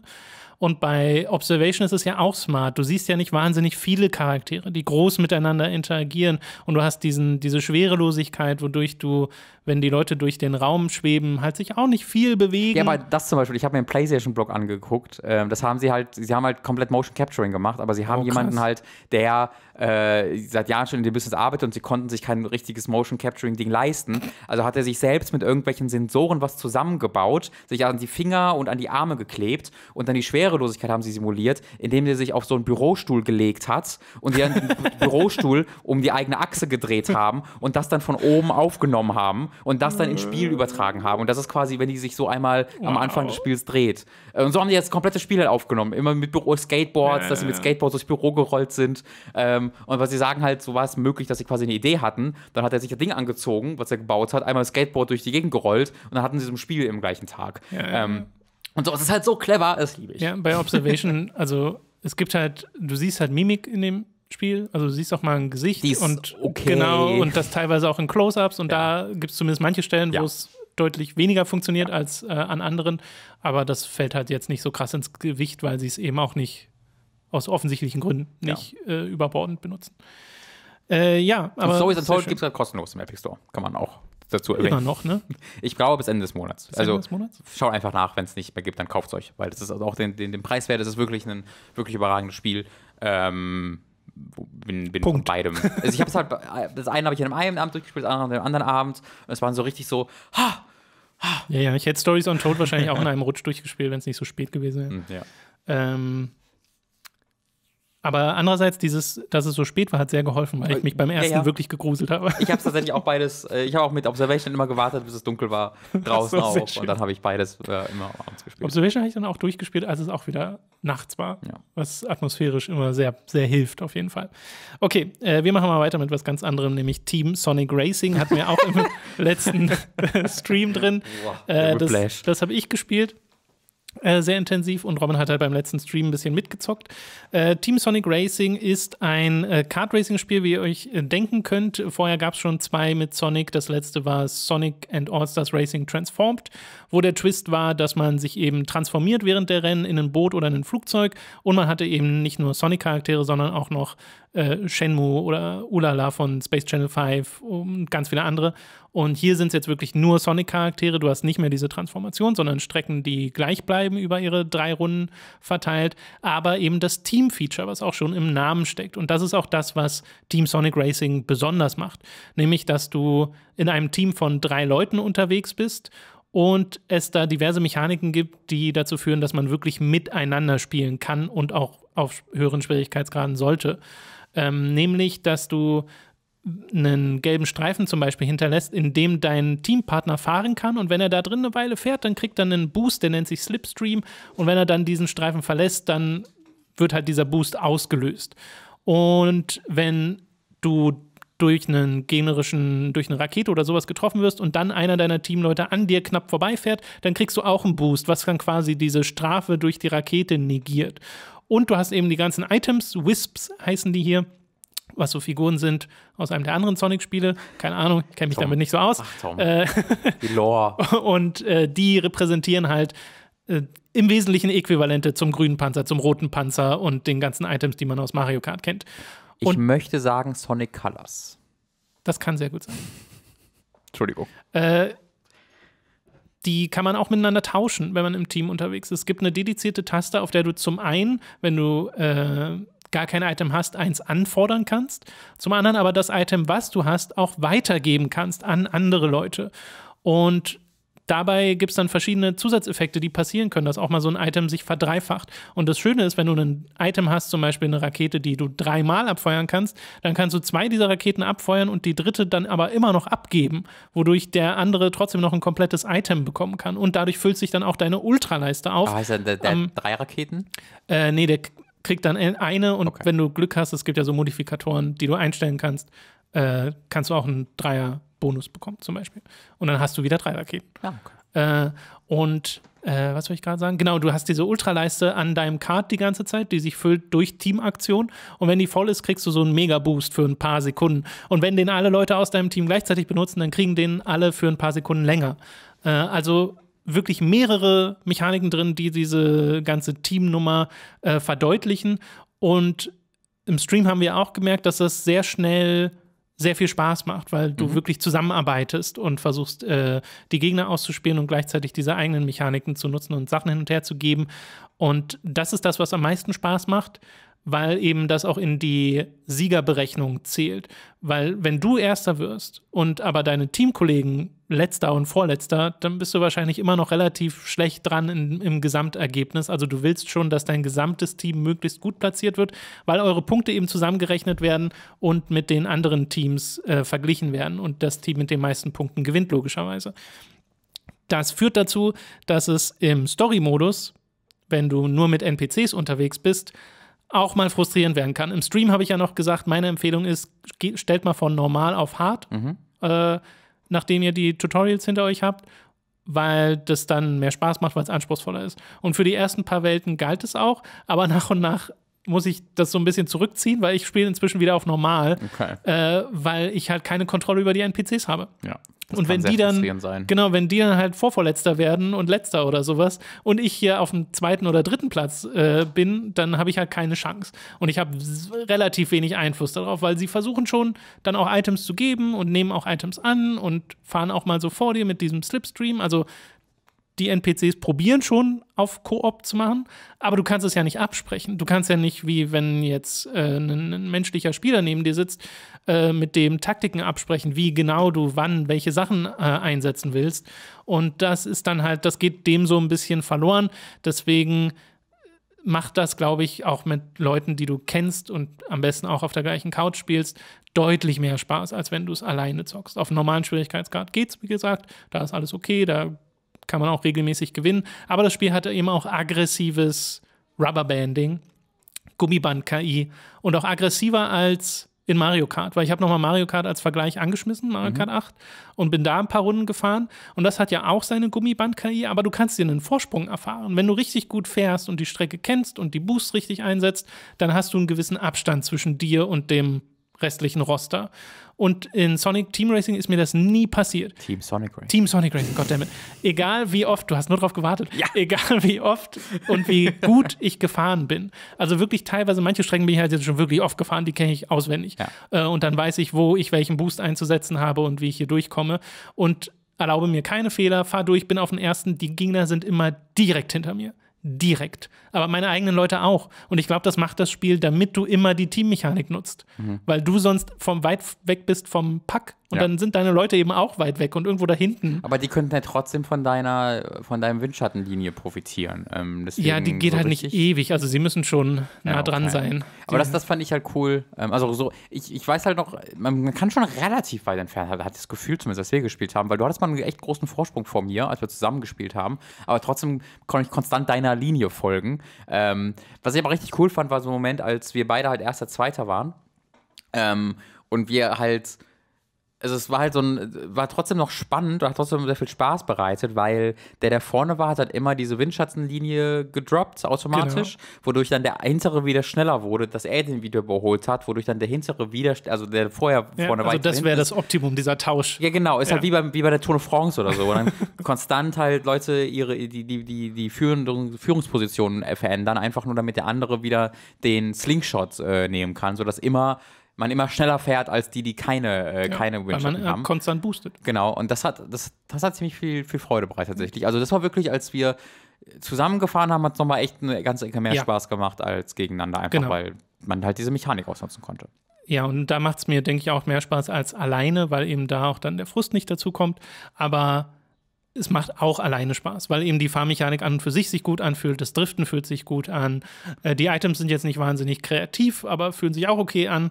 Äh, es sind halt die Sachen, die man so kennt. Ich glaube, mir fällt nicht eins ein, was mal rausbrechen würde aus dem, ja. dem Einheitsbrei. Ich Weiß ich nicht, aber äh, es, ich bedauere halt ein bisschen, dass es wirklich ein reines Sonic-Spiel ist, dass du diese Streckenveränderungen nicht mehr drin hast. Das ist ein bisschen schade. Die Strecken an und für sich gefallen mir zwar und manche davon sind auch schön wild und unberechenbar, gerade wenn man sie die ersten paar Male fährt, äh, wo es dann Spaß macht, die überhaupt erstmal zu entdecken. Es ist ein gutes Kart-Racing-Spiel und ich bin echt überrascht, wie eigen diese Teammechanik das Spiel macht. Mhm. Also, weil ich dachte am Anfang, das wäre so ein übelstes Gimmick. Ja. Aber es ist schon fundamental anderes Gameplay. Was ich mich so ein bisschen gefragt habe, ist, ob es so eine gute Idee ist, Dreierteams zu haben, ob Zweierteams sich mehr Sinn ergeben würden. Weil A wäre es für den hm. Multiplayer halt ganz nützlich, dass du zu zweit einfach in einem eigenen Team dann fährst. Wenn du zu viert fährst, könntest du sogar halt einfach Zweierteams ausmachen. Was ist, wenn du jetzt vier Spieler hast? Gibt es überhaupt vier Koop? Muss doch eigentlich, oder? Was ist, wenn es vier, vier, vier Spieler gibt? Ähm, Man kann ja teilweise alleine? Teams so selbst zusammenstellen. Ich weiß gar nicht, ob man dann einen NPC zugewiesen kriegt. Ja. Oder ob man aber es ist, halt immer weird. Also mit Zweierteams wäre das Problem halt so nicht mehr, nicht mehr da. Aber das wäre auch so, dass du halt nicht mehr so abhängig als wenn du alleine spielst. Dann gäbe es halt nur einen Partner. Das heißt, wenn du den ersten Platz gewinnst, ja. wäre der sofort mehr wert als in einem Dreierteam. Ähm, das ist so ein Gedanke, den, den ich hatte. Ja, als Option. Ich weiß jetzt gar nicht, ob es eine Option ist, zu zweit fahren zu können. Weiß ich gerade einfach nicht. Hm. Habe ich nicht ausprobiert. Ähm, Falls nicht, wäre es eigentlich eine schöne Option, aber mich persönlich stört das Dreierteam jetzt nicht so sehr. Also die Tatsache, dass es drei sind. Äh, ich bin, wie gesagt, einfach überrascht, dass das überhaupt so gut zündet. Es hat dann noch so Car-Customizing, dass du Parts freischalten kannst über so eine Slot-Machine, in der du jedes Item einzeln kaufen musst, was ein bisschen nervig wird, wenn man irgendwie mal 1000 Gold hat und die versucht loszuwerden. Äh, da hätte ich gerne einfach eine Alles kaufen Knopf und dann hätte sich das erledigt. Mhm. Immerhin gibt es keine Duplikate. Also du schaltest irgendwann alles frei. Ja, ja. Äh, einfach kannst gar nicht anders, weil äh, du eben nichts doppelt bekommen kannst. Ich habe allerdings bisher noch nicht online gespielt oder sowas. Also ich kann euch jetzt nicht sagen, wie gut irgendwie der Netcode ist oder sowas. Äh, das, das, das, die Erfahrung fehlt mir dann noch. Aber ja, Team Sonic Racing, ziemlich gutes Kartspiel. Okay. Ich glaube, mir ist Transformed immer noch lieber, Ja, gerade aus so einer Singleplayer-Perspektive, weil einfach mir auch die anderen Sega-Charaktere liegen, weil ich diese Strecken super fand damals, diese, dass du eine Panzer Dragoon-Strecke hast und so und da die Drachen dann unterwegs sind, das sieht einfach super toll aus. Und hier hast du halt nur die Sonic- Sachen und auch nur die Sonic-Musik im Hintergrund. Und da kann ich einfach nicht so viel anfangen als jemand, der nicht so viel mit Sonic anfangen Aber ich meine, es ist ja auch so, dass die Strecken oft gar nicht, also zumindest wenn ich es gespielt habe, jetzt nicht, ah, das ist eine Sonic-Strecke, sondern die Strecken wirkten halt so sehr, ja, Ja, sie sind, Strecke. sie sind dann halt teilweise inspiriert von Sonic-Levels, aber ja, es sind auch einfach Kartstrecken. Ja, ja. Also du könntest die teilweise auch in Mario Kart fahren. Also immer noch keine an die F1 Race Stars Krone Nun, herangereicht. Nein, ja, vielleicht wie hieß irgendwann. das? Have 1 Stars? Ich glaube, es ist F1 Race Stars. Race Stars? Glaube ich schon. Es gibt manchmal so eigenartige Kartspiele. Im nächsten Monat kommt ja dann das nächste mit Crash Team Racing. Yep. Das Oder Team unglaublich Crash langsam Racing. aussieht. Das sieht so langsam aus. Ja, mal gucken. Ich sage nicht, dass es schlecht ist, aber ich habe mir halt bei Sonic schon gedacht, das ist irgendwie relativ langsam alles. Ich hätte bei Sonic gern auch noch einen Modus, der ist ein bisschen schneller ja. Aber dann habe ich mir Crash Team Racing im Vergleich angeguckt, äh, in den, in den Adventure Mode Gameplay, und das war nochmal halb so schnell. Bin ich schon überrascht. Es war übrigens sehr lustig, im Kontrast nochmal Mario Kart 8 anzuschmeißen, weil für mich persönlich zumindest ist das schon nochmal eine ganze Niveaustufe weiter Nicht nur für dich. drüber.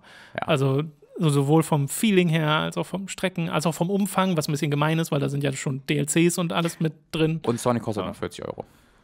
Oh, stimmt, ja. Genau. Gut, das war's mit den Spielen für diese Woche. Wir haben noch Tschüss, eine Spiele. Serie und ein bisschen Formel 1. Hallo Serien. Äh, wir reden nämlich mal über unseren finalen Eindruck von Game of Thrones Staffel 8. An dieser Stelle eine Spoilerwarnung, falls ihr das noch nicht geschaut habt. Wir werden spoilern und keine Rücksicht nehmen. Schaut mal in die Timestamps, dann könnt ihr direkt zum nächsten Punkt kommen. Fertig. Es ist wirklich sehr schlecht. Es ist sehr viel schlechter, als ich gedacht hätte, dass es wird. Ähm, wir waren ja letzte Mal, als wir über die ersten drei Folgen geredet haben, auch noch so, ja, wir wussten ja, dass das nicht so gut wird, deswegen sind wir jetzt nicht so schockiert davon, dass es nicht so gut war, aber es sah gut aus. Ähm, aber ich war dann schon, also ich wusste nicht, dass das so wird. ich finde, das war nochmal eine ganz schöne Entwicklung, auch gegenüber Staffel 7, ähm, weil man, ich wirklich das Gefühl hatte, dass Benioff und Weiss einfach keinen Bock mehr hatten. Ich hatte wirklich das Gefühl, dass die sagen wollten, ja, jetzt mach die Scheiße fertig, wir wollen Star Wars schreiben. Ähm, und das ist jetzt nicht irgendwie motiviert von irgendwelchen Memes oder Reddit-Verschwörungstheorien oder so. Das war wirklich der Eindruck, den ich beim Gucken gewonnen hatte. Und was die einzige Erklärung für mich dafür ist, wie schlecht diese Serie geschrieben wurde in ihrer letzten Ja. Staffel. Ja, es sind so. Also man kann sich jetzt den Endpunkt angucken und könnte da anfangen, aber das wäre es bei mir gar nicht. Ich finde so, da kann man durchaus hinkommen durch Charakterentwicklung, durch nachvollziehbare Plottereignisse, aber das sind halt zwei Sachen, die fehlten in der letzten Staffel und nicht nur in der letzten Staffel, wenn wir mal ehrlich sind. Ähm, die, als wir die ersten drei Episoden geguckt haben, war ich ja auch noch relativ dabei. Teilweise sogar überrascht, wie gut es mir dann teilweise noch gefällt. Gerade Mhm. Also die erste Episode, Folgen, die sich ja. so Zeit genommen hat, Ja. so bestimmte Sachen äh, zu etablieren und mal Leute hat einfach nur miteinander reden lassen und so. Aber, aber gerade dann noch Episode 4 und Episode 5. Holy shit. Also, Ja. holy shit. Wie, wie, wir saßen ja dann wirklich, wir haben das ja immer zu dritt geguckt, Dani, du und ich, äh, und saßen dann wirklich teilweise mit äh, Hand am Kopf vorm Fernseher und dachten so, wie, wieso, wie, wie, wie Es- kommt man denn hier hin? Es war der Aria-Zombie-Moment in Episode 3, aber das waren die kompletten Folgen ständig. Weißt du, dass du Konstantino gedacht hast, war, wer ist, du sagst, wie kommt der jetzt hier hin? Wie ist der jetzt einfach da? Was, warum ist der jetzt hier? Nee, warum ist der hier? Was ist seine Motivation? Oh Gott, hä? Es hat also kein Charakter agiert mehr so, wie sein Ja, Charakter agieren würde in der Situation. Du, wie du sagst, das Problem ist eigentlich sogar, würde ich sagen, nie, wo sie landen. Du kannst in Fiktion jeden Charakter überall ankommen lassen und versuchen und trotzdem das nachvollziehbar wirken lassen. Dafür, das ist ja Fiktion. Also ähm, dass halt äh, die, die Charaktere, die sterben in Game of Thrones, in, der, in dem Buch und in der alten Serie, in, der, in den ersten Staffeln, das ist nie so, dass du denkst, das hoffe ich mir für diesen Charakter. So, aber es ergibt halt total Sinn in der Welt und es ist eine, äh, es, ist, es baut diese Welt weiter als einen glaubwürdigen Ort auf. Und das wird alles, wird alles komplett den Bach runtergeschmissen und es hat dann halt einen Plot, der genauso viel Sinn ergibt wie ein Marvel-Film aber du hast keine Marvel-Charaktere und keine Marvel-Witze im Hintergrund, die das tragen, sondern du hast immer noch nur den Plot, der sich super ernst nimmt, aber wo die Charaktere einfach da sind, wo sie gerade für den Plot sein sollen, ja. ohne dass du in irgendeiner Art und Weise für in dem Charakter nachvollziehbar erkennst, warum der jetzt da ist, oder in dem Universum oder in der Welt verstehst, wie du überhaupt da sein kann. Ja, es gibt so ein paar Sachen, wo man, wo ich mich wirklich frage, wie das nicht selbst von den Schreibern gesehen wird, wie du so einen smarten Charakter hast, wie einen Varys, der dann auf die denkbar dümmlichste Art Verrat betreibt an Daenerys und dann von Tyrion verpetzt wird, der auch äh, so der schon seit, der ganzen schon Serie seit ein paar Staffeln äh, ja. genau sich diesem Vorwurf äh, gefallen lassen muss, dass seine ganzen Pläne und die, die, die, diese ganze Intelligenz, die ihm nachgesagt wird, äh, sehr unbegründet zu sein scheint äh, dass du einen Jon Snow hast, der wirklich eine genaue Erklärung der vergangenen Staffeln benötigt, um zu merken, warum es vielleicht nicht so gut ist, Daenerys Targaryen noch zu folgen, nachdem sie bereits eine ganze Stadt niedergebrannt hat. Ach, das ist so, das, das, sind so eindeutige Sachen, so, so simple Sachen teilweise auch, wo bei mir, also genug, da kann ich nicht genug Suspension of Disbelief aufbringen, um da noch zu sagen, ja, aber, sondern da denke ich einfach nur, ja, das passt einfach nicht zusammen. Ja. Und ich ähm, finde ja auch Daenerys Entwicklung nicht gut. Also ist es so, ja, dass, dass, es gibt so diese Stellen in der Serie, in der man schon gemerkt hat, dass sie viele Sachen mit Feuer löst. äh, aber es hätte für mich noch eigentlich eine ganze Staffel Charakterentwicklung yeah. gebraucht, um von diesen Momenten und ihrer eigentlichen Absicht, nämlich äh, Break the Wheel und so, zu ich brenne jetzt eine ganze Stadt mit inklusive aller unschuldiger Zivilisten selbst nieder, Explizit. selbst persönlich. Ich mache das, ich während ich auf dem Drachen sitze. Genau. genau. Und das ist so, ah, ja, nee, sehe ich auch nicht so ganz. Ja, das war das Ding. Also ich habe ja, wir haben ja auch darüber geredet. So, ich fand ja immer, das ist, das wird die, das, das wird das logisch, für mich logische Ende dieses Charakters. Ich dachte mir immer, dass genau das passieren würde. Und das war auch für mich irgendwie, also für mich klar, dass es das passieren würde, auch wenn es in der Serie nicht passiert wäre, hätte ich mir gedacht, das hätte trotzdem Sinn ergeben. So, ich hoffe, man versteht, was ich meine. Mhm. Für mich ist das der logische Schlusspunkt dieses Charakters. Aber selbst mit diesem Eindruck war das kompletter Schwachsinn, was da passiert ist. Weil auch wenn das vielleicht der logische Endpunkt auch in meiner Interpretation dieses Charakters wäre, wie sie da angelangt und wie schnell und was der Auslöser dafür ist, nämlich keiner, das ist kompletter Blödsinn. Auch, wie es sich dann selbst irgendwie widerspricht. Du hast halt den Moment in, in Folge 5, wo Daenerys auf dem Drachen sitzt und guckt und, oh, und dann wird es als so Ausraster inszeniert, der keinen wirklichen Grund hat in dem Moment. Warum hat sie da jetzt einen Ausraster? Keine Ahnung. Aber dann in der nächsten Folge ist sie auch voll calm und ruhig und äh, stellt das als, ist, ist quasi einfach verrückt geworden endgültig. Aber redet einfach so, nee, das hat Sinn ergeben. Warum? Ergibt doch voll, voll, voll ja, Sinn. Jetzt, das war jetzt so ein militärischer Zug. Ja, richtig. Aber es passt überhaupt gar nichts A passt nicht zu B und dann bist du plötzlich bei K, aber das ist, im, ist in, ja, ja. In, in, in, dem römischen Alphabet plötzlich drin. Das Game of Thrones, die letzte Staffel, ist wie der Titel eines Kingdom Hearts Spiels. Wo du plötzlich eine arabische Zahl neben einer römischen Zahl hast und du, das kann man doch gar nicht machen. Und dann hat es plötzlich sieben und gesehen, Moment, warte mal. Und es hört einfach nicht auf. Das ist, glaube ich, das, was wir alle zentral Ach, auslernen ich wünschte, müssen. Game of Thrones wäre Kingdom Hearts. Ähm, ja, es gibt dann, ja, es sind so, es sind tatsächlich ziemlich viele Baustellen, dass du auch so Sachen hast wie die Dothraki, die einmal fast ausgelöscht werden und dann ah. sich aber sehr schnell regenerieren. Und immer die, mehr werden gefühlt. Die äh, Goldene Armee oder wie sie ja. heißt, die so über lange Zeit so aufgebaut wurde, als, oh, guck mal hier unsere Trumpfkarte und dann ist sie weg. Äh, die äh, Anti-Drachen-Ballisten, die einmal etabliert wurden als, oh, guck mal, wie schnell die einen Drachen platt machen das können. Writing 101. Und, und dann in der nächsten äh, Folge oder übernächsten Folge äh, werden sie alle von einem Drachen platt gemacht, weil der jetzt halt von oben kam. Äh, und das ist. ja. das, ist halt die Sache. Das ist auch das so, ne, erneut. Es ist nicht, wo man landet, sondern wie man landet. Dass die Goldene Armee das große Ding ist und dann sofort platt gemacht wird, ist ein total legitimes Ding. Also, das kann man, das ja. würde total Sinn ergeben in Game of Thrones, dass sowas groß inszeniertes im Endeffekt gar keine Chance gegen den Drachen.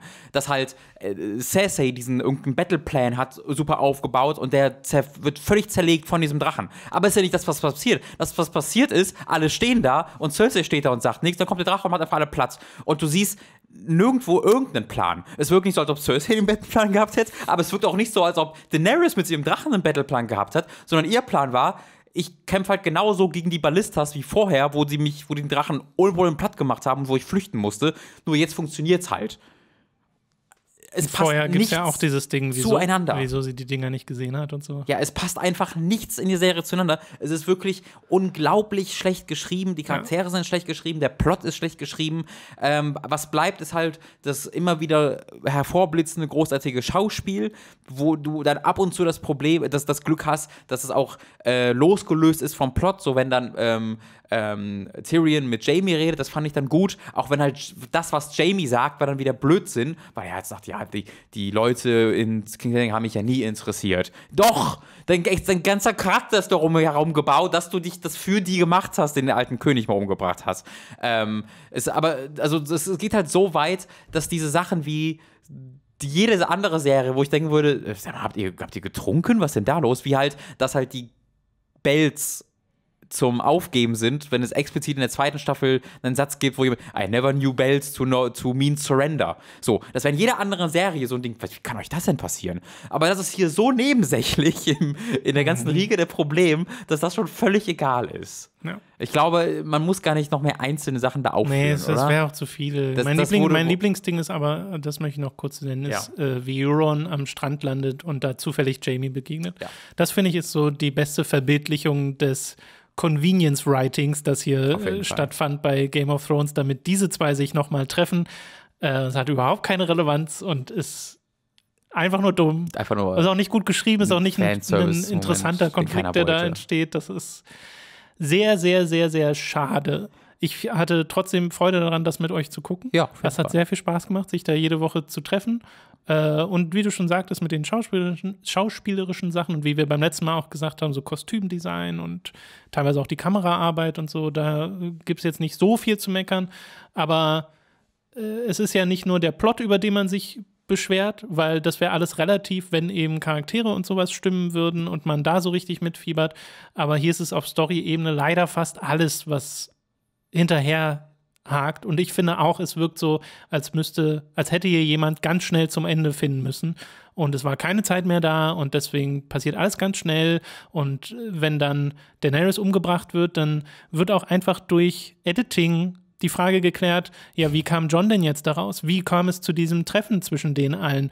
Äh, warum steht Grey Worm da einfach nur statisch daneben und sagt Du dann, bist nicht hier, um zu reden, Tyrion. Ja. 30 Sekunden später halt einer sieben Minuten Rede. Also wirklich die, interessant, die interessantesten Szenen wurden teilweise einfach auch nicht gezeigt, weil ja. sie weggekattet wurden. Ja. Äh, und auch durch, nur dadurch konnte überhaupt diese Situation gelöst werden. Äh, und das ist sehr, sehr, sehr, sehr, sehr bedauerlich, wenn man bedenkt, wo diese Serie mal ja. war. Welcher Character Arc ist so der schlimmste? Welcher Charakter wurde. Jamie.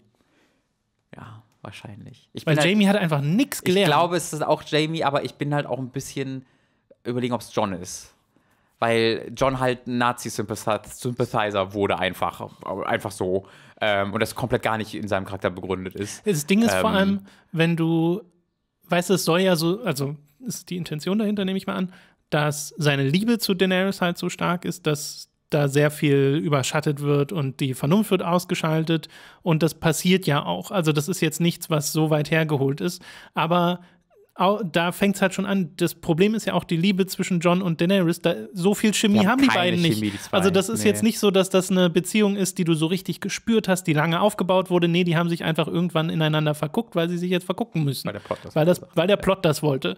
Äh, und demnach kannst du auch nicht nachvollziehen, wie John aus dieser großen Liebe, die du nicht nachvollziehen kannst, sagen würde, ja, sie hat jetzt die Stadt hier niedergebrannt, aber äh, dafür geht es jetzt den nächsten Generationen besser. Genau, das ist, passt einfach. Das fehlt dann einfach. Das passt total. auch nicht zu dem, was in der, vorher, in der vorigen Serie, so wie John gezeigt wurde, wer darauf reagierte. Ja, ja. Du hast gesehen, wie schockiert er war, du hast gesehen, wie schlimm er das fand. Und dann in der nächsten Staffel, in der nächsten Folge stellt er einfach daneben Daenerys und sagt dann, nee, war ja, war ja gut. Ja, und dann muss eben Tyrion erst kommen und sagen. Ich deine Schwester. sagen, hier, pass mal auf, das sind die Sachen, die in, der letzten, in den letzten Staffeln passiert sind. Wir erklären dir und den Er Zuschauern mal immer den Plot. Leute verbrannt. So, I get, I get it, ist trotzdem dumm. das habe ich mir wirklich für dumm verkauft für diese Szene, weil es wirklich mir erklärt wurde. Also ich glaube, ich würde dir zustimmen, dass Jamie der schlimmste Character-Arc ist, weil es einfach sieben Staffeln hat und dann wird einfach über drei Folgen, äh, aber egal. äh, egal. Ähm, aber John war, glaube ich, der frustrierendste. So der, Also wo ich, zumindest in wo ich am meisten mehr so dachte, Folge. was erzählt ihr da gerade für eine fucking ja, ja. Geschichte?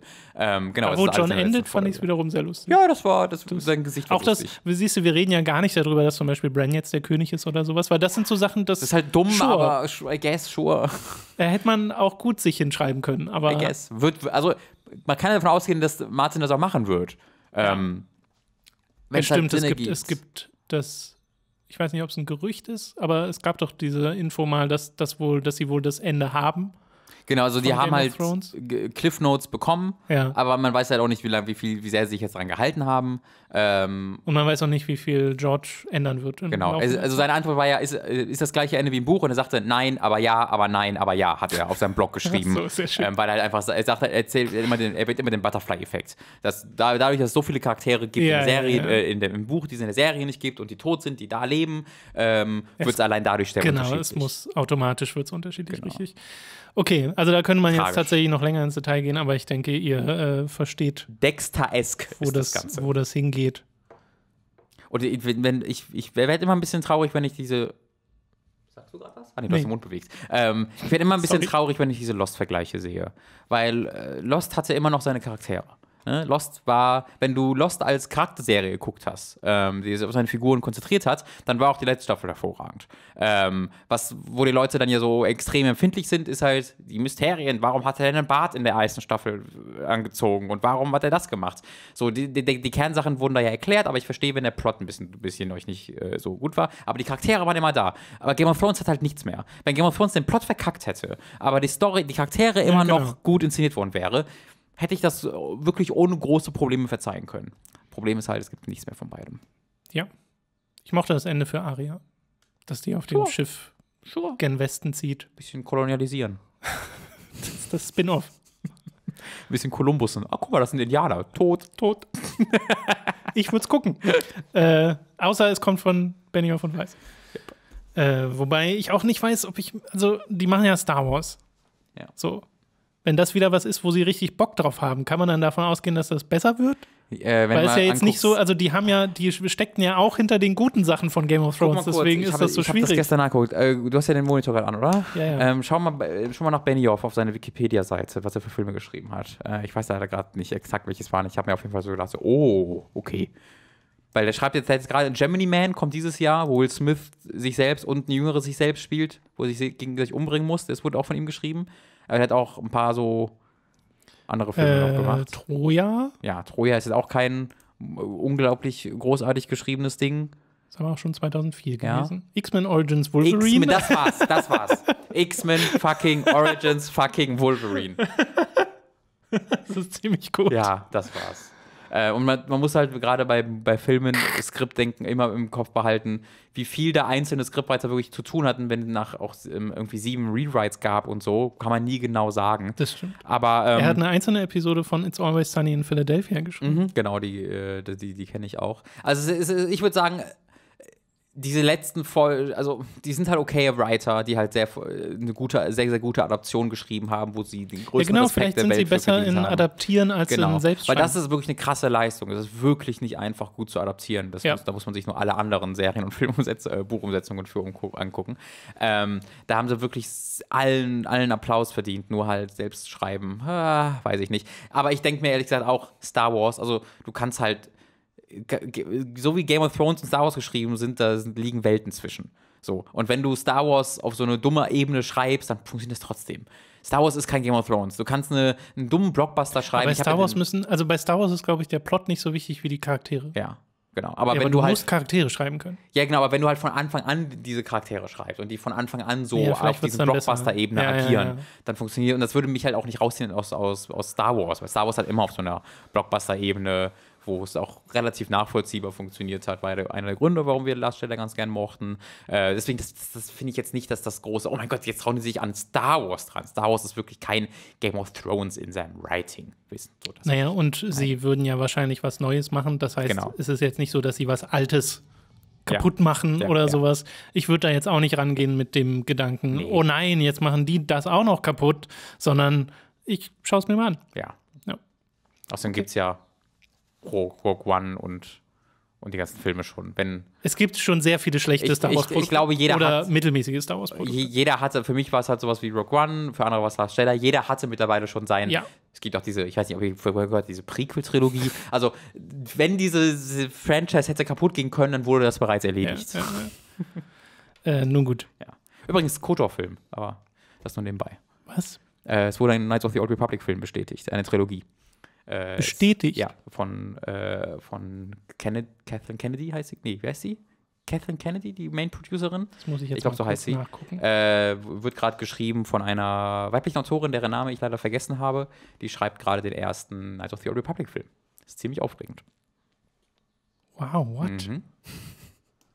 Also ist das dann quasi unabhängig von den Spielen, aber einfach die alte Republik? Nee, das ist eine Umsetzung des Spiels. Eine Umsetzung Eine Umsetzung Spiels? von, das heißt auch Knights of the Old Republic. Das ist eine Umsetzung vom ersten Spiel. What? Das ist, äh, kann sehr aufregend sein. Okay, alles klar. Hätten wir das auch noch. Das nur mal so nebenbei.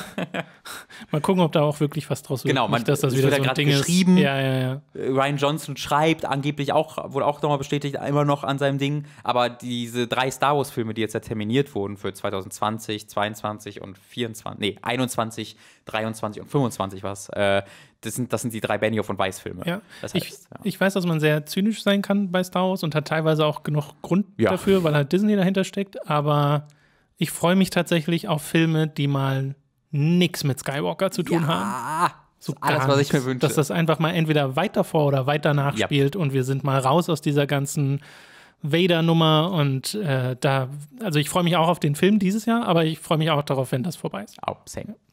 Okay, dann haben wir nur noch ein Thema auf unserer Liste, nämlich Robins famoses Formel 1 Fest. Yeah, wir haben es mal wieder im Programm. Ist das nicht aufregend? Ich, war es aufregend? Das musst du sagen, ob es ja, aufregend ist. nicht wirklich. Das ist, das ist halt eine komische Saison dieses Jahr. Ähm, weil, also letztes Mal habe ich es einfach übersprungen, weil Barcelona so langweilig war. Barcelona ist eigentlich fast immer langweilig. Ähm, die, das Komische an dieser Saison ist, dass es vorne ziemlich spannend ist. Bottas und Hamilton fahren wirklich auf einer Ebene gegeneinander. Ähm, jetzt hat Hamilton 17 Punkte, glaube ich, Vorsprung oder so. Das ist schon ordentlich ähm, nach Monaco. Aber die sind immer noch trotzdem relativ nah beieinander. Ähm, aber gleichzeitig sind die Rennen bis auf eine Ausnahme arschlangweilig. ähm, weil wenn halt einer, so, es ist halt immer abwechselnd bis zu diesem Rennen, immer abwechselnd einer vorne gewesen, Bottas oder Hamilton, Ja. aber der halt immer fürs ganze Rennen. Ja. Ähm, es, gibt, es gab halt ein spannendes Rennen dieses Jahr, was wirklich dann aber auch sehr, sehr spannend war, aber ansonsten war es immer nur so eine Prozessionsfahrt, wo sie so starten, dann kommen sie auch meistens so ins Ziel und dazwischen ist nicht viel passiert. Und das war jetzt auch nicht anders, aber es war halt auch dieses Jahr, äh, diesen, diese Woche Monaco. Äh, und äh, Monaco ist ja die Stadtstrecke, wo die mittlerweile zwei Meter breiten Autos durchfahren und diese Strecke ist, also du musst schon mal suchen, um Stellen zu finden, die vier Meter breit sind. Das heißt, um da überhaupt mal nebeneinander fahren zu können, ist schon selten. Und also überholen ist da quasi unmöglich, Ja. was auch sehr schnell gezeigt wurde mit Charles Leclerc, dem Ferrari-Fahrer, dem Upstart, der äh, mal wieder von Ferrari, ähm, naja, ähm, übers Ohr gehauen wurde, kann man sagen, von seinem eigenen Team im Qualifying, weil der hat eine Zeit gefahren im ersten Qualifying und ähm, dann haben die den einfach in der Box gelassen. Die hätten aber nochmal fahren müssen, dass er die Zeit nochmal verbessern kann, weil am Ende war er dann 16. Und nur die, Oh. die so, die- der, der, ab- der 16., 17., 18., 19. und 20. fliegen raus Ja. ähm, und kommen nicht in die nächste Runde. Das heißt, der Ferrari ist einfach ohne irgendeinen Grund, es gab keinen Grund dafür, einfach rausgeflogen. ähm, und da hat sich äh, Leclerc zu Recht sehr darüber aufgeregt. Dann ist halt als 16er gestartet in Monaco und ist Monegasse, war auch noch sein Heimrennen. Ähm, äh, das heißt, er ist als 16. gestartet und hat dann schon vorher gedacht, ja, ich muss halt versuchen, ein bisschen zu überholen, wird wahrscheinlich crashen. Hat er im äh, Team im, vorher in einem Interview gesagt, weil, ja, wenn du halt Monaco überholen willst, dann crashst du. Überraschenderweise ist er dann in Monaco ganz viel überholt und hat gecrashed. Ähm, äh, nach irgendwie A, A, sieben Runden bereits oder so, hat er hat er tatsächlich schon zwei erfolgreich überholt und beim dritten ist er dann vor eine Mauer gefahren mit dem rechten Hinterrad. Und dann ist das rechte Hinterrad sich so aufgelöst ähm, und wurde dann wie so eine Peitsche, weil der ist dann noch, der ist dann noch, war dann noch wütend, ist dann immer noch schnell gefahren zur Boxengasse zurück. Und dieses, der Reifen hat sich immer weiter aufgelöst, wurde immer zu einer größeren Peitsche quasi, die ums eigene, um die, um die Ja. Felge sich drehte. Und dann wurde quasi mit dieser Peitsche der Unterboden vom Auto, der ja so hervorguckt, wurde quasi einfach zerstört, weil diese Peitsche einfach immer gegen den Unterboden hat ihn komplett zerfleddert. Dieses Auto war komplett zerfleddert, einfach vom eigenen Reifen, das sah sehr cool aus zumindest. Ähm, und dann hat er noch sich neue Reifen geholt und versucht zu fahren, aber der war kaputt und ist dann später wieder, ähm, ja, halt komplett reingekommen, hat aufgegeben. Und vorne hat halt Hamilton gewonnen. Ähm, war erste Runde bis letzte Runde. Äh, es war relativ spannend noch, weil er die falschen Reifen hatte und er musste die so äh, nursen. Aber es war halt auch so ein Ding, der war halt irgendwie zwei Sekunden, drei Sekunden langsamer als alle anderen. Aber trotzdem konnte keiner holen.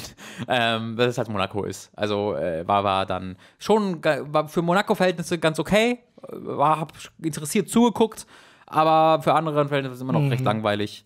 Ähm, ja, ist bisher keine so tolle Saison. Glaubst du, die nächste Strecke ist da besser? Ich weiß äh, tatsächlich nicht, wo sie nächstes Mal Ach so. fahren. Ich bin da äh, nicht auf dem neuesten Stand. Okay. Ich lasse mich da meistens überraschen. Aber dann wieder in zwei Wochen, gell? Aber ich glaube schon, dass es besser ist als Monaco, Ja. weil du musst schon. Mehr Überholmöglichkeiten. Ja, genau. Okay. Dann soll es das gewesen sein mit dieser kleinen, aber feinen Ausgabe von Robins famosem Formel 1 Ich Fest. meine irgendeine. Uh. Yay. Besser als. Ich denke mir halt, ey, anstatt euch jetzt so langweilig immer mit, ja, Rennen war langweilig, dann können wir es lieber überspringen, die Sektion. Ich hoffe, ihr seht mir das nach, weil diese, also, die Song weiß Naja, einfach wenn es nicht so viel gibt. Ja. Ja. Nee, finde ich auch okay. Gut. Dann bleibt uns nur noch zu erwähnen, dass ihr uns unterstützen könnt auf patreon.com slash hooked oder steadyhq.de slash hooked. Ähm, ab 5 Dollar bzw. Euro bekommt ihr Zugriff auf alle exklusiven Inhalte und wir springen direkt mal zu den Podcast-Produzenten, denn ab 25 Dollar oder Euro werdet ihr zu einem Podcast-Produzenten und werdet namentlich im Podcast erwähnt. Wir bedanken uns jetzt nämlich bei folgenden Podcast-Produzenten. Hassan Zahn, Michael Noritz-Wolf, Andi Radi, Jan Lippert, Christopher Dietrich, Geribor grüßt alle, Don Stylo, Michael, Grünkohlwiese, Cabbage 92, Tommy 88088, Apu 42, Maggie Power, Formel Fan Nummer 1 überholt, Raun, Gustian, Rocket Rüpel, Numemon digitiert zu, Sebastian Diel, die Epic Snowwolf, Markus Ottensmann, Hauke Brav, McLovin 008, Detective Dito, Lisa Willig, Dagoon, Zombie und Wintercracker und Autaku, Lennart Struck, Oliver Zirfers, Christian Hündorf, Julia Marinic und Simon Dupicai. Vielen Dank an alle Podcast-Produzenten. Mir ist noch nie aufgefallen, dass Grünkohlwiese und Cabbage 92 so nah beieinander sind. Äh, wir könnten einen kleinen Mhm. Könnten Gemüsegarten uns Könnten bauen. eine Band zusammen auch machen. Ich meine, Wobei ja Cabbage Garbage. 92 klingt schon allein wie eine Band. Ja, wie, wie, wie, Oder? wie, wie würdest du Grünkohlwiese klingt wie ein Pokémon. Wie, wie würdest du die zusammenführen, die beiden Namen? Zu Oh, einem Bandnamen, gute das meine ich ja. Cab einmal Cabbage-Wiese wahrscheinlich, oder? Cabbage-Wiese. Cabbage Weasel. 92? Oh ja, stimmt. Ja. Und dann kann man Weasel ja auch ins Englische übersetzen. Warte, warte, warte. Cabbage Das Weasel. ist doch Grünkohlwiese, oder nicht? Was? Ist es nicht Grünkohlwiese? Nein, Wiesel. Grünkohlwiesel. Der Grünkohlwiese, der uns seit hunderte Jahren. Das ist ein Grünkohlwiesel. Hör auf! Ja, doch, ist das Tier. Jetzt shut the fuck. Nein, das steht doch Grünkohl. Nein, das Habe ich immer das L, habe ich einfach seit, habe ich mir, habe ich einmal Grünkohlwiese gesehen, dann die letzten 20 Jahre einfach das L immer überlesen? Also dann hast du es auch immer überhört, wenn ich es vorgelesen Ja, habe ich noch nie. Grünkohlwiesel? habe. Grünkohlwiesel. Ein Wiesel, das Grünkohl mag. Ich dachte immer, du heißt Grünkohlwiese. Eine Wiese, auf der Grünkohl angebaut wird. Jetzt bist du jedenfalls zusammen mit Cabbage 92, Cabbage Weasel 92. My mind has been blown. So, falls ihr euch noch zu anderen äh, Kom Kombinationen zusammentun wollt, gerne. Kommt da nächste Woche. Tschüss. Tschüss, das soll es gewesen sein. Vielen Dank fürs Zuhören. Bis zum nächsten Mal.